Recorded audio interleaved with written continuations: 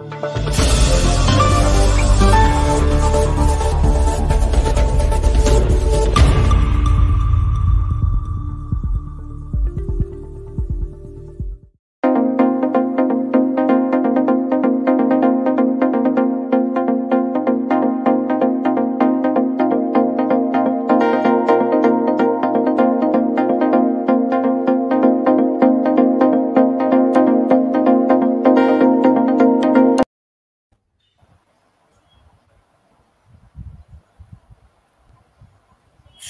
কথা বলে শুরু করতে চাই। বাংলাদেশের প্রত্যেক ঘরে ঘরে পৌঁছে গিয়েছে বিদ্যুৎ।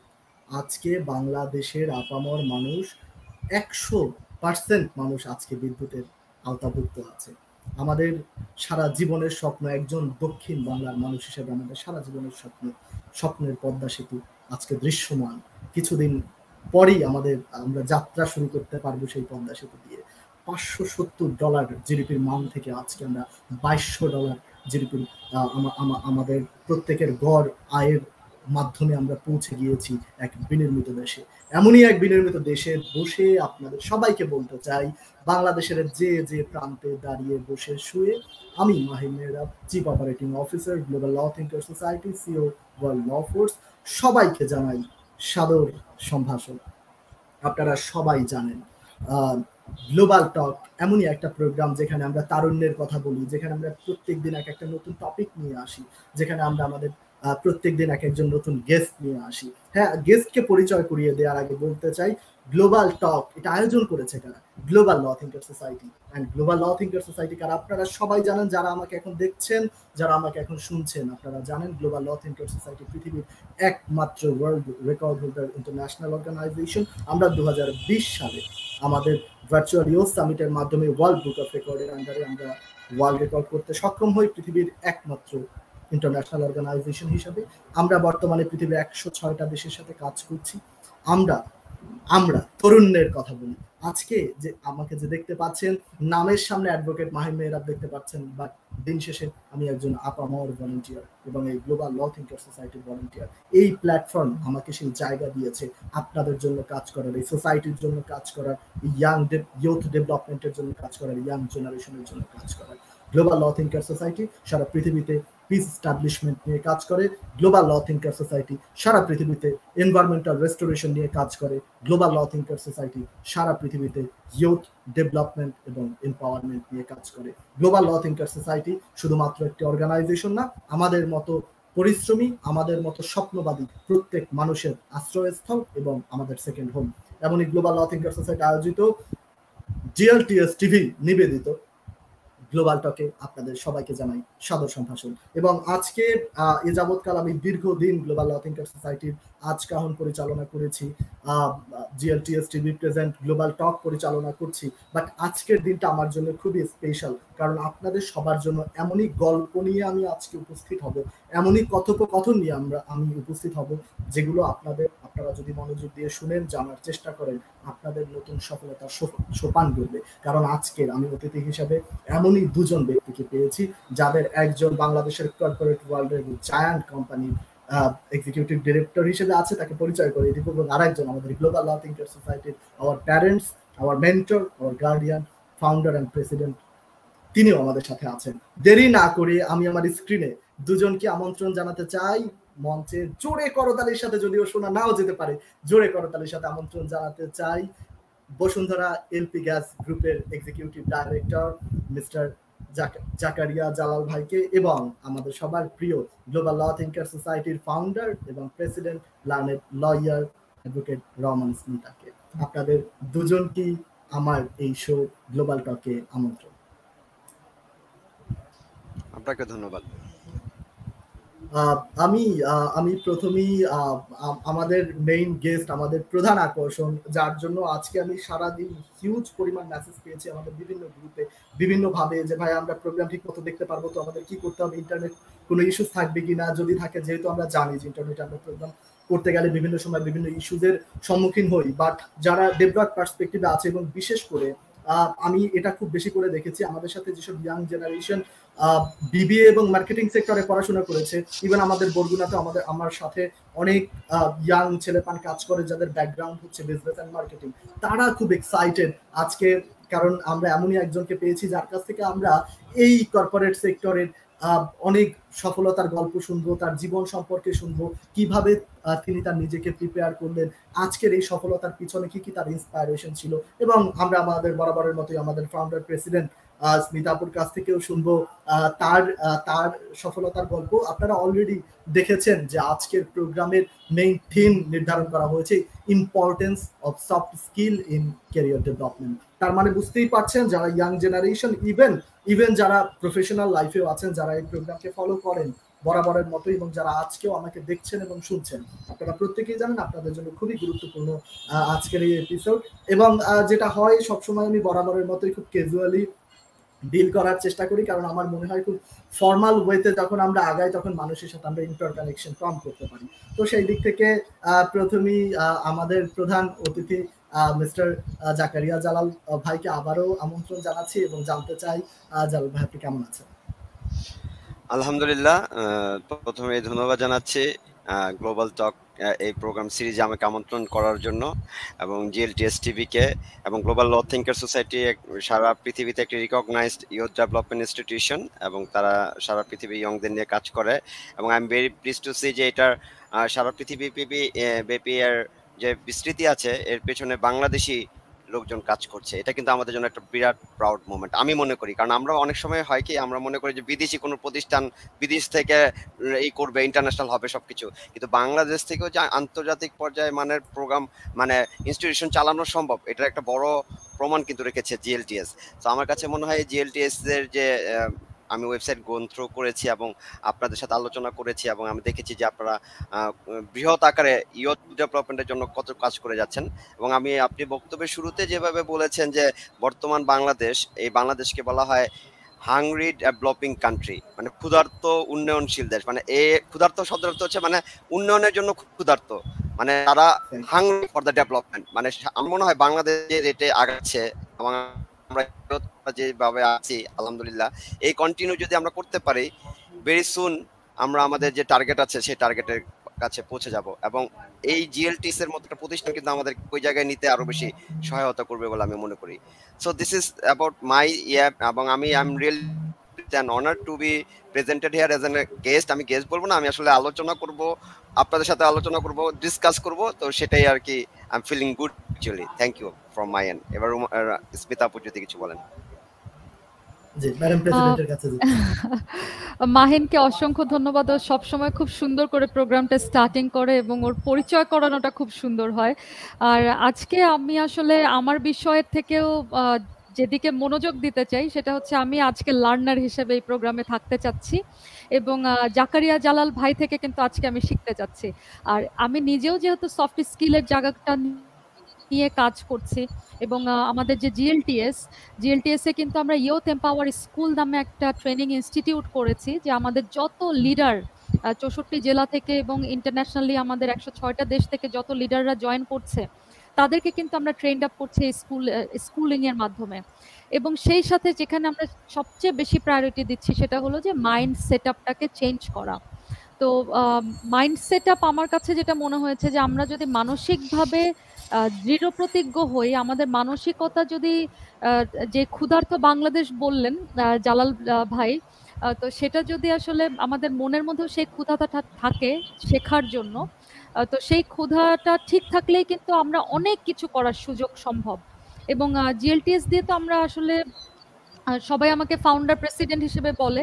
কিন্তু আমি এতটুকু বলব যে আমরা সবাই, যত লিডাররা আছে, সবাই কিন্তু টিম ওয়ার্ক করছি। এবং যেহেতু সব এনার্জেটিক এবং পজিটিভ মানুষ নিয়ে কাজ করছি বলার বাহুল্য যে আমি সবসময় আসলে ভালো থাকি। আলহামদুলিল্লাহ, আল্লাহর রহমতে আমার এই প্ল্যাটফর্ম এবং আরও ভালো মানুষ যারা আছেন যুক্ত হচ্ছেন, আজকে আমাদের সাথে জাকারিয়া জালাল ভাই যুক্ত হলেন। আজকে ওনার থেকে অনেক কিছু শিখব।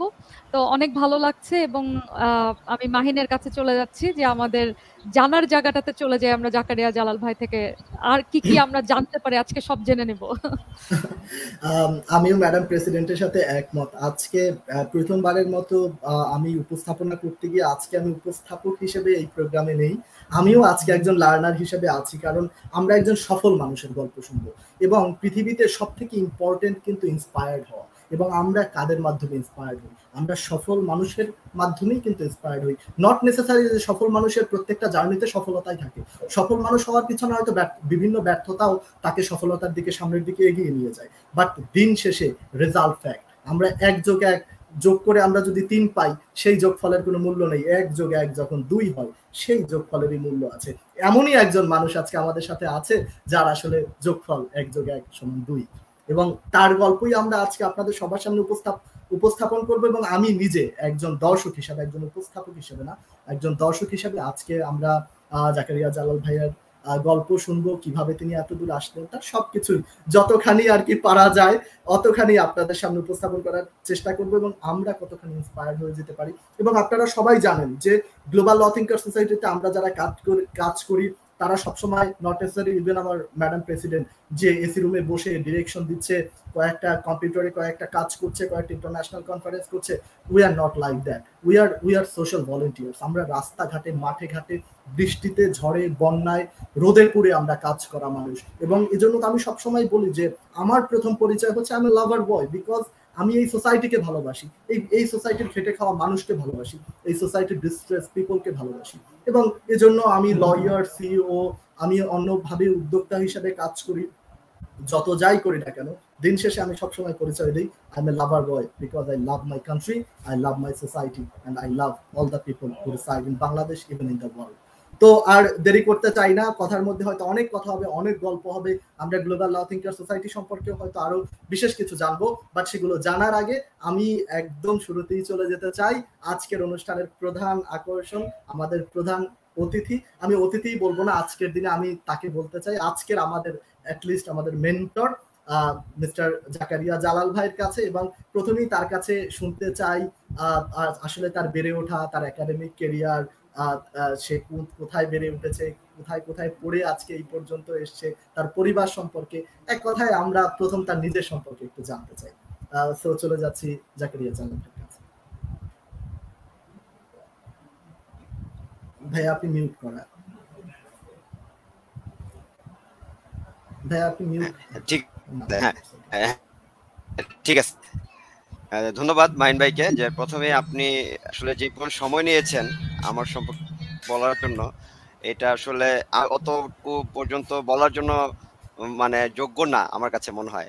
আপনি অনেক বাড়িয়েই বলেছেন এবং দর্শকদের প্রত্যাশার পারদকে অনেক উপরে উঠিয়ে নিয়ে গেছেন। এখন প্রত্যাশার পারদ আস্তে আস্তে নিচে নামতে হতে পারে। তো আমি আগে দর্শকদের কাছ থেকে ক্ষমা চেয়ে নিচ্ছি অগ্রিম যে যতটা মাহিন ভাই বলেছে, আমি আসলে ঠিক ততটা লেভেলের না। কথাটা শুরু হয়ে গেছিল সফলতা থেকে, তো আমি সফলতার হয়েছে কিনা বা সফল কতটুকু সেটা আমি জানি না। সেটা আমার সফলতার মাপকাঠি বলবে হচ্ছে আমার কাজ। আমি আসলে কতটুকু কাজ করতে পারছি, আমার নিজের কাজে, নিজেকে কতটুকু ডেভেলপ করতে পারছি, এই ব্যাপারগুলাই আমার কাজ। অন্য কোনো মানে সফলতা শব্দের অর্থটা খুব রিলেটিভ না? খুব পার্সপেক্টিভ এক একজনের কাছে সফলতার সঙ্গে এক এক রকম। এক প্রত্যেকটা প্রফেশনালের কাছে তার সফল। আমি অনেক সময় অনেকটা জিজ্ঞেস করি, তোমার কি মনে হয় যে রাস্তায় যে রিক্সা চালানো করছে, সে কি খুব অসফল? আবার অনেকে জিজ্ঞেস করি, যার হয়তো হাজার হাজার কোটি কোটি টাকা আছে, সে কি খুব সফল?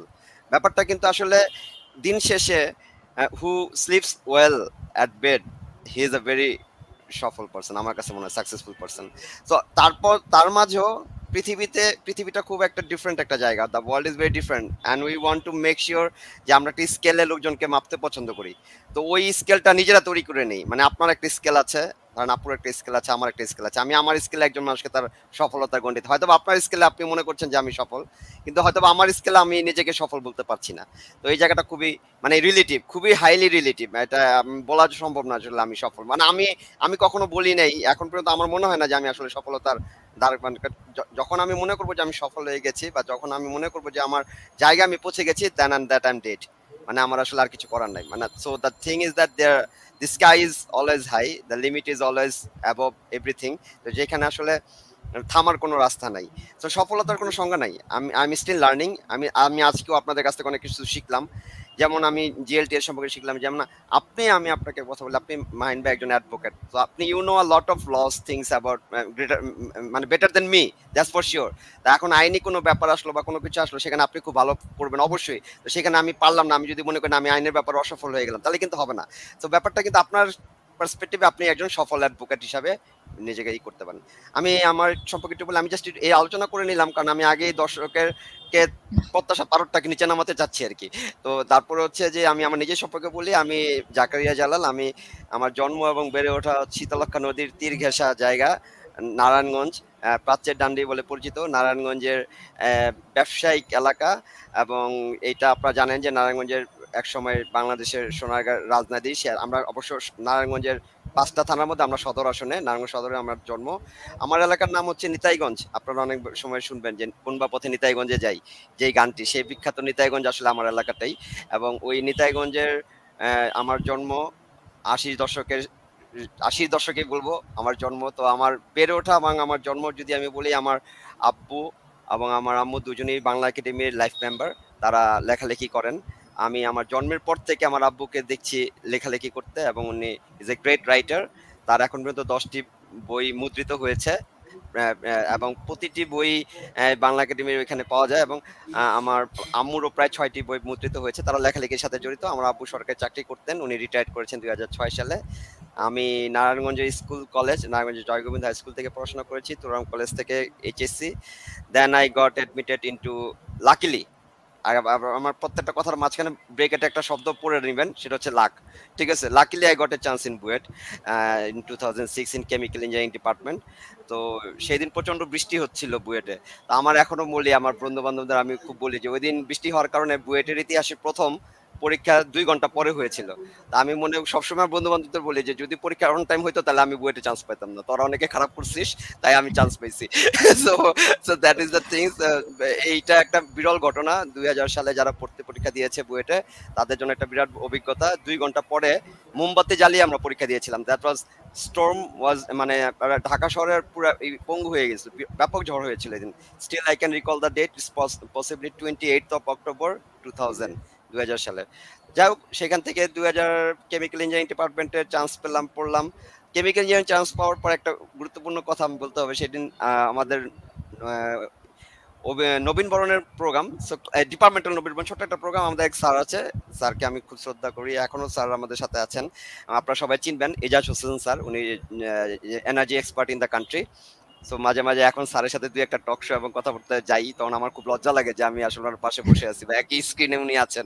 তো আমি আগে স্যারের কাছে একটু মাপ চেয়ে নিই যে, স্যার, মাপ করে দেন, আমি একটু কিছু বলার নেই আসলে ওরা ডাকছে। আরে, বলো, বসো বসো বসো, এরকম আর কি। তো স্যার তার ক্লাসে বলছে যে hey guys you people came into the chemical engineering department this is a very unique department যেখান থেকে তুমি পড়াশোনা করলে you will be a potato আমরা বললাম হোয়াট উইল বি পটেটো মানে তো বলছে this is the only subject যেখান থেকে পড়ে তুমি ব্যাংকার থেকে শুরু করে পুলিশ থেকে শুরু করে সব হইতে পারবা। মানে ইটস এভরিথিং তুমি এখান থেকে পড়ে সবকিছু হতে পারবা, তুমি যদি চাও। তো then the thing is that I I feel like যে আসলে একটা ভালো জায়গায় ভর্তি হয়েছে কিন্তু কেমিক্যাল ইঞ্জিনিয়ারিং বা বুয়েট মানে that was the dream things kind of কিন্তু আমার ড্রিম আসলে বুয়েট ছিল না। আমার ডাক্তারি পড়ার ইচ্ছা ছিল, কারণ আমার আম্মু আব্বু একটা কথা বলতো, আমি ছোটবেলায় খুব অসুস্থ থাকতাম। তা আমার আম্মু বলতো যে, ওর শরীরে যত ওজন, তার চেয়ে বেশি টাকা আমি ডাক্তারকে দিছি। যে ওকে ডাক্তারই হইতে হবে এই জন্য তো আমার খুব ডাক্তারি পড়ার ইচ্ছা ছিল, কিন্তু লাকিলি মানে আনলাকিলি যে কোনো হোক, আমি ইন্টার সেকেন্ড ইয়ার ইন্টার পরীক্ষাতে এইচএসসিতে আমি বায়োলজিতে লেটার পাইলাম না। তো আমার খুব হতাশ, আমি বায়োলজিতে লেটার পাই নাই, তাহলে আমি মেডিকেলে কীভাবে চান্স পাবো? সো আই গট মানে এই বুয়েটে বুয়েট টেস্ট পরীক্ষা দিয়েছিলাম দেন লাকিলি বুয়েটে চান্স পেয়ে গেলাম। এবং তার দুই হাজার ছয় সালে আমি বুয়েট থেকে বেরিয়েছি, কিন্তু বুয়েট একটা মজার কাহিনী আর একটু বলি যেহেতু বলতে চাচ্ছেন একটু মজা লাগবে আপনাদের, সেটা হচ্ছে আমাদের সুপারভাইজার স্যার ছিলেন, তো আমার ফার্স্ট ইয়ারের রেজাল্ট হওয়ার পর তো দেখা গেছে যে ফার্স্ট ইয়ারের ইঞ্জিনিয়ারিং ডিপার্টমেন্টের ফার্স্ট ইয়ারগুলোতে হচ্ছে বেসিক সাবজেক্ট পড়াতে হয়। ফিজিক্স কেমিস্ট্রি ম্যাথ এই টাইপের মেকানিক্যাল ইঞ্জিনিয়ারিং ইলেকট্রিক্যাল ইঞ্জিনিয়ারিং মানে বেসিকগুলো পড়াতে। আমাদের ডিপার্টমেন্টাল সাবজেক্টগুলো আসে সেকেন্ড ইয়ারে তো বেসিক সাবজেক্টগুলোতে দেখা গেছে যে আমি মেকানিক্যাল এবং ইলেকট্রিক্যালে ইলেকট্রিক্যাল সাবজেক্টগুলো এটাতে আমি ভালো রেজাল্ট করলাম। তো আমার সুপারভাইজারের কাছে যাইতে হইতো, পরে রেজিস্ট্রেশন করার জন্য। স্যারের কাছে গেলাম, স্যার বাবা, তুমি তো ইলেকট্রিক্যাল ইঞ্জিনিয়ারিং এ খুব ভালো করছ, কিন্তু তোমাকে তো কেমিক্যাল ইঞ্জিনিয়ারিং পড়তে হবে। তো কেমিক্যাল ইঞ্জিনিয়ারিং পড়লে তো তোমাকে কেমিক্যাল ইঞ্জিনিয়ারিং ভালো করতে হবে। তো কিন্তু আমি বললাম, স্যার, আমার তো কেমিক্যাল ইঞ্জিনিয়ারিং ভালো লাগে না, আমার তো ইলেকট্রিক্যাল ভালো লাগে। বলে যে, তাহলে তো তোমার কিছু করার নাই। যাই হোক মানে আমার কেমিক্যাল ইঞ্জিনিয়ারিং আসলে খুব কঠিন লাগতো এবং আজকের দিনে মাঝে মাঝে আমি ঘুম থেকে লাভ দিয়ে উঠি যে আদৌ আমি বুয়েট পাস করেছি কিনা? মানে আমার কাছে মনে হচ্ছে যে, এটা একটা মানে হরর টাইপের একটা অভিজ্ঞতা মনে হয়েছিল যে সেকেন্ড ইয়ার থার্ড ইয়ার থেকে। বাট ভেরি লাইকলি মানে আলহামদুলিল্লাহ যে সবার সাথে একটা ই হচ্ছে যে পাস করার মানে রেগুলার ব্যাচে সম্মানের সহিত ফার্স্ট ক্লাস নিয়ে বুয়েট থেকে বের হয়ে গেছি। এটা আজও আমার কাছে একটা মানে আবার ব্রেকেটে লাখ পড়তে হবে। মানে ভাগ্য, যে আমি ভাগ্যবান হিসাবে সবার সাথে বন্ধুদের সাথে বের হয়ে গেছি দুই হাজার ছয় সালে। দু হাজার ছয় সালে বের হওয়ার পর আমি দুই সাতে আমি ভর্তি হই বুয়েটে, মাস্টার্সে, পেট্রোলিয়াম মিনারেল রিসোর্স ইঞ্জিনিয়ারিং ডিপার্টমেন্টে সেখানে মাস্টার্সের পড়াশোনা করি। তারপর সেখানে আমি জয়েন করি একটা চাকরি, চাকরিতে জয়েন করি দুই হাজার সাতের জানুয়ারিতে। আমি তো একাডেমিকগুলো পড়ি, পরে আমার ইয়েতে আসব। তারপর দুই হাজার তেরো সালে আমি আইবিএ এম তে ভর্তি হই। তারপর দুই হাজার পনেরো সালে আমি এম কমপ্লিট করি। দুই হাজার বিশ সালে আমি নর্থ সাউথে মাস্টার্সে ভর্তি ইকোনমিক্সে দুই হাজার একুশে কমপ্লিট করি। সো অল থ্রু এই হচ্ছে পড়াশোনা। একটা ব্যাচেলার তিনটা মাস্টার্স আর যদি চাকরির কথা বলি, দুই হাজার সাতে I started my career on from Opsonin group production engineer হিসাবে শুরু করি ফ্যাক্টরিতে তারপরে আমি সুইচ করি হচ্ছে মার্কেটিং ডিপার্টমেন্টে দু হাজার আট সালের আগস্টে। আপনারা সবাই নাম জানেন লিন্ডে বাংলাদেশ লিমিটেড নামে একটা যেটা ওই তৎকালীন বিওসি বাংলাদেশ নামে পরিচিত ছিল অক্সিজেন কোম্পানি যারা মেডিকেল অক্সিজেন ওয়েল্ডিং ইলেকট্রোড এসব কোম্পানি সাপ্লাই করে, সেখানে আমি প্রায় সাড়ে পাঁচ বছর কাজ করি। দেন আমি জয়েন করি হচ্ছে অস্ট্রেলিয়ান একটা এলপিজি কোম্পানিতে সেলস ম্যানেজার হিসেবে। তারপর এখান থেকে আমি জয়েন করি হচ্ছে বসুন্ধরা গ্রুপে দুই হাজার ষোলোতে as a deputy general manager business planning তারপর আমি দুই হাজার উনিশে দায়িত্বপ্রাপ্ত হই এক্সিকিউটিভ ডিরেক্টর হিসাবে। And now I am here so it's all through my ইয়া আর আরেকটু ফ্যামিলি যদি বলতে হয় ফ্যামিলি তার কয়েকটা জিনিস বলা অবশ্যই দরকার, সেটা হচ্ছে আমার বড় বোন, উনি জাহাঙ্গীরনগর ইউনিভার্সিটির প্রফেসর আমার ছোট ভাই ও কৃষি ইউনিভার্সিটি থেকে মাস্টার্স আর একটা ছোট ভাই ও পাবলিক হেলথ থেকে মাস্টার্স আমরা সবাই চার বোনই আলহামদুলিল্লাহ, ওরা লাখ না, ওরা জেনুইনলি সরকারি ইউনিভার্সিটি চান্স পেয়েছে, আমারটা লাখ ছিল। তো সেই জায়গাটাতে একজন ঢাকা ইউনিভার্সিটি একজন জাহাঙ্গীর ইউনিভার্সিটি একজন কৃষি ইউনিভার্সিটি থেকে পাশ করছে। ওরা সবাই চাকরি চাকরি করতেছে আপাতত। আর আমার বউ সে হচ্ছে ডাক্তার এবং বাই প্রফেশন ডক্টর অ্যান্ড আমার দুই ছেলে বড়টা আজকে ক্লাস টুতে উঠল, নাম জারিফ, তারপরটা হচ্ছে জাফিন, ওর বয়স হচ্ছে তিন বছর। So this is all about me so far অনেক সময় নিয়ে নিলাম, যারা শুনছে হয়তো বোর ফিল করছে বাট আই ফিল লাইক যে আমার বলা উচিত এই জন্য আমি বললাম। থ্যাংক ইউ ভাইয়া, আপনাকে অসংখ্য ধন্যবাদ। আগে একটু ভাইয়ার কথাটা ধরে বললাম ভাইয়া প্রথমেই শুরু করেছে যে সফলতার পারদ আস্তে আস্তে নিচে নামতে শুরু করবে। বাট আমার মনে হয় যে ভাইয়া এতক্ষণ যেটা বলল তার তার ক্যারিয়ার তার একাডেমিক জার্নি সে কীভাবে কীভাবে, কোন কোন জায়গা থেকে আজকে তার ক্যারিয়ারের এই জায়গাতে এসছে। আমার মনে হয় যে সফলতার পারদ নিয়ে আমি শুরু করেছিলাম, তার থেকে সফলতার পারদ ইট মে বি ইনক্রিজড এবং আমার মনে হয় যে সেই সফলতার পারদ আমরা শুরুতেই বুঝতে পারছি যে আমাদের প্রোগ্রামের শেষে আমাদের মানে আমাদের এই প্রোগ্রামের প্রত্যাশার পারদ কোন জায়গাতে গিয়ে থামবে। এবং সেই মেসেজ আমি আমার গ্রুপেও দেখতে পাচ্ছি যে ভাইয়া জালাল ভাইয়া তো শুরু করছে যে তার কথা শোনার পর আমাদের সফলতার পর নিচে নামবে। বাট আমরা আমরা আমরা তো দেখতে পাচ্ছি we are this program by hearing uh, Mr. Zakaria Jalal. ভাইয়াকে অসংখ্য ধন্যবাদ। আমিও বুয়েটে যাওয়ার একটা আমি বুয়েট বুয়েটের স্টুডেন্টটা আমি অল আমার আমার জীবন আর্টসে আমার আমার বেড়ে ওঠা আর্টসে সব কিছু আমার একাডেমিক ক্যারিয়ার আর্টসে বাট রেসিডেন্সিয়ালের পড়তাম ঢাকা রেসিডেন্সিয়াল মডেল কলেজের স্টুডেন্ট ছিলাম। সেই সুবাদে আমার অনেক বন্ধু বুয়েটে পড়তেন। তো আমরা তখন যেতাম আমাদের হলে তো আমাদের সময় একটা ইয়াই ছিল হলে যাব, আমরা একটু চিল করতে বন্ধু বান্ধব একসাথে গল্প গুজব করব। বাট যখন আমরা বুয়েটে ঢুকতাম, আমার কাছে মনে হতো যে আমরা মানে দ্বিতীয় বিশ্বযুদ্ধের কোনো প্ল্যাটফর্মে আসছি। সবাই ভয়ঙ্কর চিন্তা ভাবনা নিয়ে পড়ছে। আমার মনে আছে, আমার ফ্রেন্ড প্রিন্স ও এখন হচ্ছে এসিল্যান্ড হিসেবে আছে বরিশালে। তো ও পড়ছে, পড়তে পড়তে ও ওয়াশরুমে যাবে, বই নিয়ে ওয়াশরুমে যাচ্ছে, বই থেকে বেরোচ্ছে।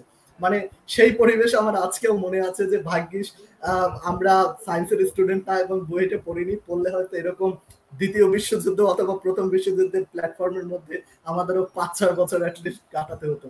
তা আমরা বুঝতে পারছি আসলে সফল হওয়ার জন্য কতটা পরিশ্রম করতে হয় এবং আমরা ডেফিনেটলি অ্যাজ স্টুডেন্ট আমরা আর্টসের হই কমার্সের হই, যে যে ব্যাকগ্রাউন্ডের হই, আমরা জানি এক একটা institution is very important to build the personality এবং একজন জাকারিয়া জালাল কীভাবে সে তার কর্পোরেট ক্যারিয়ার কর্পোরেট লাইফ সৃষ্টি করল, তার পিছনে ডেফিনেটলি তার ইনস্টিটিউশনের অনেক বড় একটা ভূমিকা আছে। হ্যাঁ লাকিলি আমরা সবাই এই কথাটার সাপোর্ট করি বাট লাক তাদেরকেই সাপোর্ট করে লাক তাদেরকেই ফেভার করে দোজ হু আর ব্রেভ তো আমরা সেই দিক থেকে বলতেই পারি যে জাকারিয়া জালাল ভাই ডেফিনেটলি একজন ব্রেভার পার্সন যে কারণে হয়তো তার তাকে সাপোর্ট করেছে বরাবরের আবারও ধন্যবাদ জানাচ্ছি তার একাডেমিক ক্যারিয়ার এত চমৎকার ভাবে আমাদের ইয়াং জেনারেশনের সামনে উপস্থাপন করার জন্য এবং আমি আমার দর্শকদের উদ্দেশ্যও বলতে চাই যে আপনারা একটা জিনিস দেখবেন, আমাদের এই প্রোগ্রামের মূল উদ্দেশ্য কিন্তু আমরা যখন আমাদের অতিথিবৃন্দের কথা আপনাদের সামনে উপস্থাপন করি, আপনাদের মোটিভেট করার চেষ্টা করি। এটাই গ্লোবাল ল থিঙ্কার সোসাইটির এই জিএলটিএস টিভির লক্ষ্য এবং উদ্দেশ্য for the youth by the youth আমরা চাই কি এই টিভির মাধ্যমে আপনারা নতুন নতুন মানুষকে জানেন, তাদের গল্পগুলো জানেন, তাদের কীভাবে, কি করে করে তারা আজকে হ্যাঁ হয়তো সফলতা ভেরি করে। আমি এটা আসলে সম্পূর্ণরূপে একমত এবং এটা আজকে একটা চমৎকার কনসেপ্ট আমি জালাল ভাইয়ের কাছ থেকে জানলাম যে আসলে সফলতার কোনো মাপকাঠি নেই এবং আমি নিজেও তো, আমাকে যদি জিজ্ঞেস করে যে ভাই আপনি এত অ্যাওয়ার্ড ট্যাওয়ার্ড পেলেন, আপনি বিভিন্ন টাইপসের কাজ করেন, আপনার কাছে কি মনে হয় সফলতা কি? আমি সবসময় বলি, আমি যত বছর গরুর মাংস খেয়ে বাঁচতে পারব, ততদিন আমার কাছে মনে হবে আমি সফল। তো আসলে সফলতা এক একজনের কাছে ভেরি করে, কিন্তু আমরা যখন সফল ব্যক্তিত্ব দেখি, তখন আমাদের মনে হয় যে তাদের গল্পগুলো আমাদের মানুষের সামনে তুলে ধরা দরকার। এই বর্তমান young generation are highly frustrated কি করবে, সামনে কোন দিকে যাবে, কোথায় পড়াশোনা করবে? They got frustrated from class nine যে সায়েন্স করবে আর্টস করবে কমার্স করবে কি করবে কোথায় যাবে? বুয়েটে যাবে নাকি ঢাকা মেডিকেলে যাবে, নাকি ঢাকা ইউনিভার্সিটিতে যাবে, নাকি ল পড়বে? দে গট ফ্রাস্ট্রেটেড তো এই, এটাও একটা উদ্দেশ্য যে আমরা এরকম সফল মানুষকে আমি আবারও ম্যাডাম প্রেসিডেন্টকে ধন্যবাদ জানাই, আমাদের অনারেবল জেনারেল সেক্রেটারি জন ভাইয়াকে আমি ধন্যবাদ জানাই যে একদম ডিফারেন্ট সেক্টরের একজন মানুষকে আমাদের সামনে উপস্থাপন করার জন্য, আমাদের সব ইয়াং জেনারেশনের সামনে উপস্থাপন করার জন্য, যাদেরকে আমরা রোল মডেল হিসেবে প্রত্যেক ওয়েতে আমরা উপস্থাপন করতে পারি এবং ফ্রাস্ট্রেটেড ইয়াং জেনারেশনকে বেসিক পথটা দেখাতে পারি যে না, এই পৃথিবীতে ফ্রাস্ট্রেশনের কিছু নেই। আমরা আমাদের জায়গাতে ফোকাস থাকব, যে যে কেরিয়ার করি না কেন, যে যে সেক্টরে যেতে চাই না কেন, সেই সেক্টরের প্রতি আমরা ফোকাস থাকব। তাহলে আমরা একদিন না একদিন এরকম এক একটা ধাপ অতিক্রম করে করে সফলতার দিকে যাব। এবং আপনারা অলরেডি কিন্তু আমাদের যে টপিক টপিকটার সাথে কানেক্ট করতে পারলেন, যে importance of soft skill in career development আপনারা অলরেডি জালাল ভাইয়ের কাছ থেকে শুনলেন অলরেডি তিনটা মাস্টার্স করেছে এবং আমি তার বায়ো দেখছিলাম। সে বিভিন্ন শর্ট কোর্স করেছে বিভিন্ন জায়গায়। আমরা সেসব ব্যাপারে শুনব, আপনাদের জানানোর চেষ্টা করব, আমরা টপিকের সাথে কানেক্ট করব। সেই টপিকের সাথে কানেক্ট করার আগে আরও অনেক অনেক গল্প করব বা তার আগে আমি একটু ম্যাডাম প্রেসিডেন্টের কাছেও যেতে চাই। ম্যাডাম প্রেসিডেন্ট আপনি জালাল ভাইয়ের কথা শুনলেন।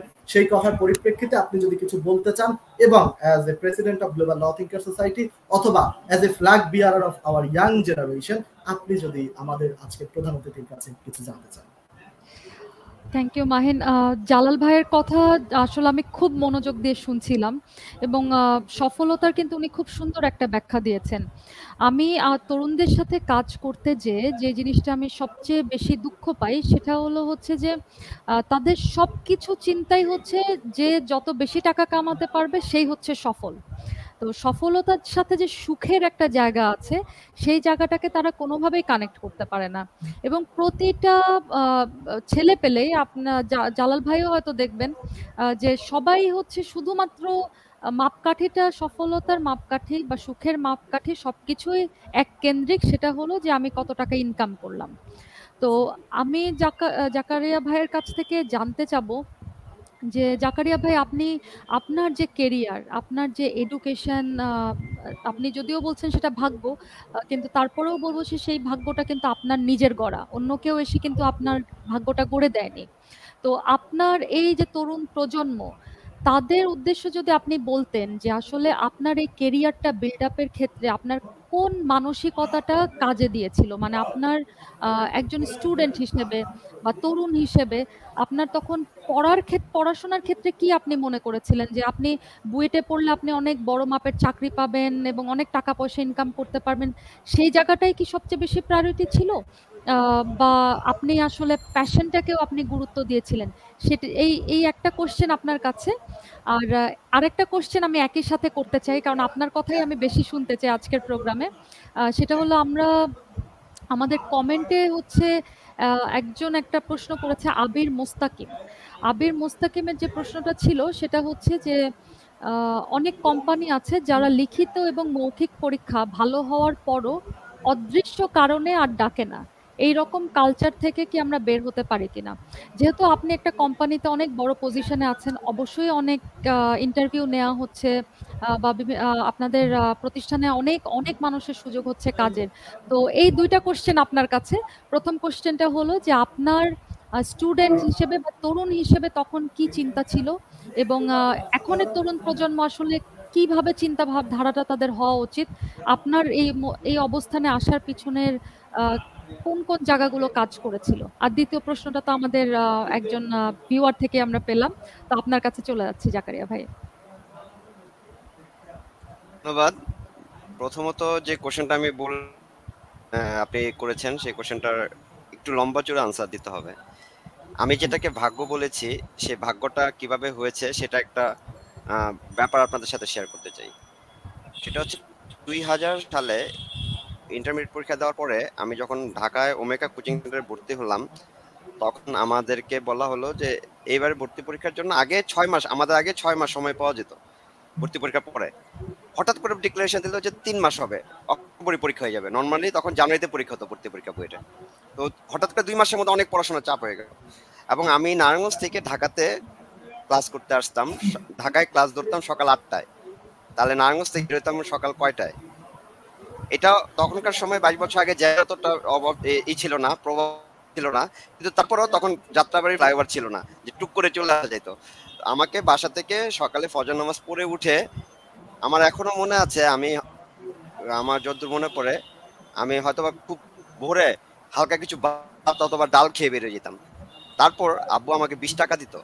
সেই বিশ টাকা দিয়ে আমি হেঁটে হেঁটে নারায়ণগঞ্জের আমার বাসা থেকে বাস স্ট্যান্ড পর্যন্ত আসতাম। সেখানে একটা বাসে উঠতাম। তখন বাস ভাড়া ছিল ছয় টাকা। ছয় টাকা দিয়ে আমি গুলিস্তান আসতাম। গুলিস্তানে এসে আবার রাস্তা পার হয়ে গোলাপ শাহ মাজার ওইখান থেকে আবার একটা বাসে চড়ে দুই টাকা করে ফার্মগেট আসতাম। তারপর ফার্মগেটে সকাল আটটা বাজে এসে দেখতাম, ঢাকা শহরে যারা আছে তারা সবাই চলে আসছে কোচিংয়ে আমিও ঢুকতাম ওদের সাথে কোচিংয়ে ঢুকে আমি তিন ঘণ্টা কোচিং তিন ঘণ্টা কোচিং সেন্টারে কোচিং করতাম ওমেকাতে। করে আবার আমি আটটায় কোচিং এগারোটায় শেষ, আবার এগারোটা, সাড়ে এগারোটা থেকে বেরোতাম ফার্মগেটের আনন্দ সিনেমালের পিছনে ছিল কোচিং সেন্টার টোমেকার। সেখান থেকে উল্টা পাশে আবার পার হয়ে আবার দুই টাকা খরচ করে গুলিস্তান, আবার ছ টাকা খরচ করে নারায়ণগঞ্জ, আবার হেঁটে বাসায় এসে আড়াইটার সময় আবার ভাত খেতাম। তারপর গোসল করে রেডি হয়ে তিনটার বাজে পড়তে বসতাম। তারপর আবার রাত বারোটা পর্যন্ত পড়তাম। তারপর আবার বারোটায় ঘুমিয়ে যেতাম, কারণ সকাল পাঁচটায় উঠতে হবে। তো this was my routine for five months three months sorry তিন মাসের একটা রুটিন ছিল এরকম। এবং আমার কাছে মনে হয় এই যে অমানসিক একটা পরিশ্রম আমি করেছি that hard work actually differentiated me from everything আমার লাইফে কসম, আমি এই টাইপের পরিশ্রম আর জীবনে কোনোদিন করি নাই। ওই সময়টাতে আমি অত্যন্ত পরিশ্রম করেছি। আমি আমি জানতাম যে হয়তো বা আমাকে চান্স আমি আমি বুয়েটে চান্স পেলে লক্ষ লক্ষ টাকা বেতন পাবো বা আমি বিরাট কিছু হব, এরকম কোনো প্ল্যান ছিল না। আমি আদৌ জানতাম না যে সত্যিকার অর্থে যে বুয়েটে হইলে আমি আসলে কি হব বা কোথায় যাব এটা। কিন্তু আমার একটা এই ছিল যে বুয়েটে পড়লে ইঞ্জিনিয়ার হওয়া যায়। এতটুকু আমার কাছে শুধু ধারণা ছিল। এবং আমি আমার বড় বোন ঢাকা ইউনিভার্সিটিতে পড়তো। ও বলতো যে, বুয়েটে চান্স পা। আমি দেখি যে বুয়েটে পড়লে সবাই ভালো করে। বুয়েটে তো চান্স পাইতে হবে। আর না পাইলে ঢাকা ইউনিভার্সিটি চান্স পাবি। আবার আমার আপু আমাকে বলতো যে, তোমার জন্য দেখো দুইটা রাস্তায় খোলা আছে। তোমার, আমাদের তো আর প্রাইভেটে পড়াইতে পারব না তোমাকে। অত টাকা নাই আমাদের। তুমি যদি চান্স পাও বুয়েটে পড়বা। নয়তোবা মেডিকেলে নয়তোবা ঢাকা। তুমি এইগুলোতে চান্স না পাইলে আমার পক্ষে সম্ভব না তোমাকে প্রাইভেটে পড়ানো। হয়তোবা তাহলে তোমার নারায়ণগঞ্জে যে কোনো একটা বিএ টিএ পড়াশোনা ডিগ্রি ডিগ্রি পড়তে হবে। এটা তোমার তোমার জন্য এখন তুমি যদি যেটা মনে করো। So that was my target যে অ্যাটলিস্ট আমাকে একটা ভালো জায়গায় যেতে হবে। So that was my luck actually যে আমি ওই লাকটাকে আসলে আপনি যেটা বলেছেন হ্যাঁ লাকটা হয়তো গড়ে নিতে হয়েছে, কিন্তু মেইন ওই ঘটনা থেকে আমি শিক্ষা নিয়েছিলাম। মানে আমার লাইফ থেকে আমি নিজে শিক্ষা নিয়েছি যে if I do the hard work it will repay এটা আপনাকে রিপে করবে। সফলতা মানে আমার এই জায়গায় বা একাডেমির সবচেয়ে বড়, আমি সব জায়গায়, এই পর্যন্ত আমি প্রচুর লাইভ করেছি এই ব্যাপারগুলো নিয়ে এবং অনেকের সাথে কথা বলেছি, অনেকে জানতে চেয়েছে how at the age of below 40 you are become an executive director of an organization, the country largest brand. So অনেকে অনেক ব্যাপার এগুলোতে জানতে চায়, তখন আমি শুধু একটা কথা বলি যে there is no shortcut in the success and success is not an accident success কখনই একটা অ্যাক্সিডেন্ট না success is a continuous sustainable ব্যাপার। এটাকে তোমাকে সাস্টেনেবল ভাবে নিয়ে যেতে হবে। তো এর পিছনে যে সবচেয়ে বড় যে তরিকাটা, সেটা হার্ডওয়ার্ক হার্ডওয়ার্ক হার্ডওয়ার্ক মানে এইটার মাঝখানে আর কোনো মানে এটার মাঝখানে আর কোনো কিছু নাই। আপনি হার্ডওয়ার্ক না করে আপনি কিচ্ছু পাবেন না nothing you will not get anything in your entire life if you don't do hard work in your life then আমি যদি এটা হচ্ছে আপনি যেটা বলেছেন যে তরুণ প্রজন্মের জন্য কি করে? এখন তরুণ প্রজন্মের জন্য আমি যেটা তখন বলতাম, আমি কিন্তু ক্লাস নাইন, টেনে আমি কিন্তু খুব মানে নিয়মিত ক্লাস করতাম, ভালো রেজাল্ট হয়তো করতাম মানে আমার, আমি শুধু একবার জীবনে ফার্স্ট হয়েছিলাম ক্লাস টেনের টেস্ট পরীক্ষা, তার জীবনে কোনোদিন ফার্স্ট হই নাই সবসময় থার্ড ফোর্থ এরকম হইতাম। তো দেখা গেছে যে আমি প্রচুর বিকালবেলা হলে খেলতে চলে যেতাম আমার আম্মু আমাকে খুব মারতো। এই প্রতিদিন তোর খেলাধুলা লাগে সন্ধ্যাবেলা, প্রচুর মারতো। আমি আমি এখন আমরা বলি যে, তুমি যে পরিমাণ তোমার মা, ছেলেকে মারছো, আর আমার মনে পৃথিবীতে কোনো বাচ্চা তার মায়ের হাতে এত মার খানে আমি যে পরিমাণ শুধু খেলার জন্য মার খেয়েছি, পড়াশোনার জন্য না মানে আমি শুধু খেলতে যেতাম। আমি একটাই ছিলাম ক্রিকেট খেলতে যেতাম, এবং আমি আমাদের নারায়ণগঞ্জ রাইফেল ক্লাব, নারায়ণগঞ্জ শীতলকার ক্রিকেট ক্লাব আমি ক্রিকেট খেলতাম। তো আমার এটা একটা খুব ফ্যাসিনেশন ছিল। কিন্তু ওই যে ওই তিন মাস যখন আমি ইয়েতে ভর্তি তখন আমি খেলতাম না। মানে ওই চার মাস আমি I was fully different Zakaria. মানে ওই সময়টাতে আর কি, প্রচুর হার্ডওয়ার্ক করছিলাম। তো তারপরও মানে এর বাইরেও আমি অন্যান্য সময় আমার একটা, আমার এক হার্ডওয়ার্কটা মূলত শুরু হয় একটা জায়গা থেকে, সেটা হচ্ছে আমি ক্লাস নাইনে একটা কোচিং সেন্টারে ভর্তি হই। যেই কোচিং সেন্টারের টাইম ছিল সকাল ছয়টা। মানে মর্নিং ছয়টাতে কোচিং সেন্টারটা হয়তো আমার বাসা থেকে আরেকটু দূরে সাইকেল চালাই যেতে হতো তো আমি সকাল ছয়টায় মানে সাড়ে পাঁচটা বাসা থেকে বেরোতাম শীত, গ্রীষ্ম, বর্ষা, শরৎ, হেমন্ত, শীত বসন্ত ছয় ঋতু, আমাকে সকাল সাড়ে পাঁচটায় উঠতে হবে এবং ছয়টায় ওই কোচিং সেন্টার ঢুকতে হবে।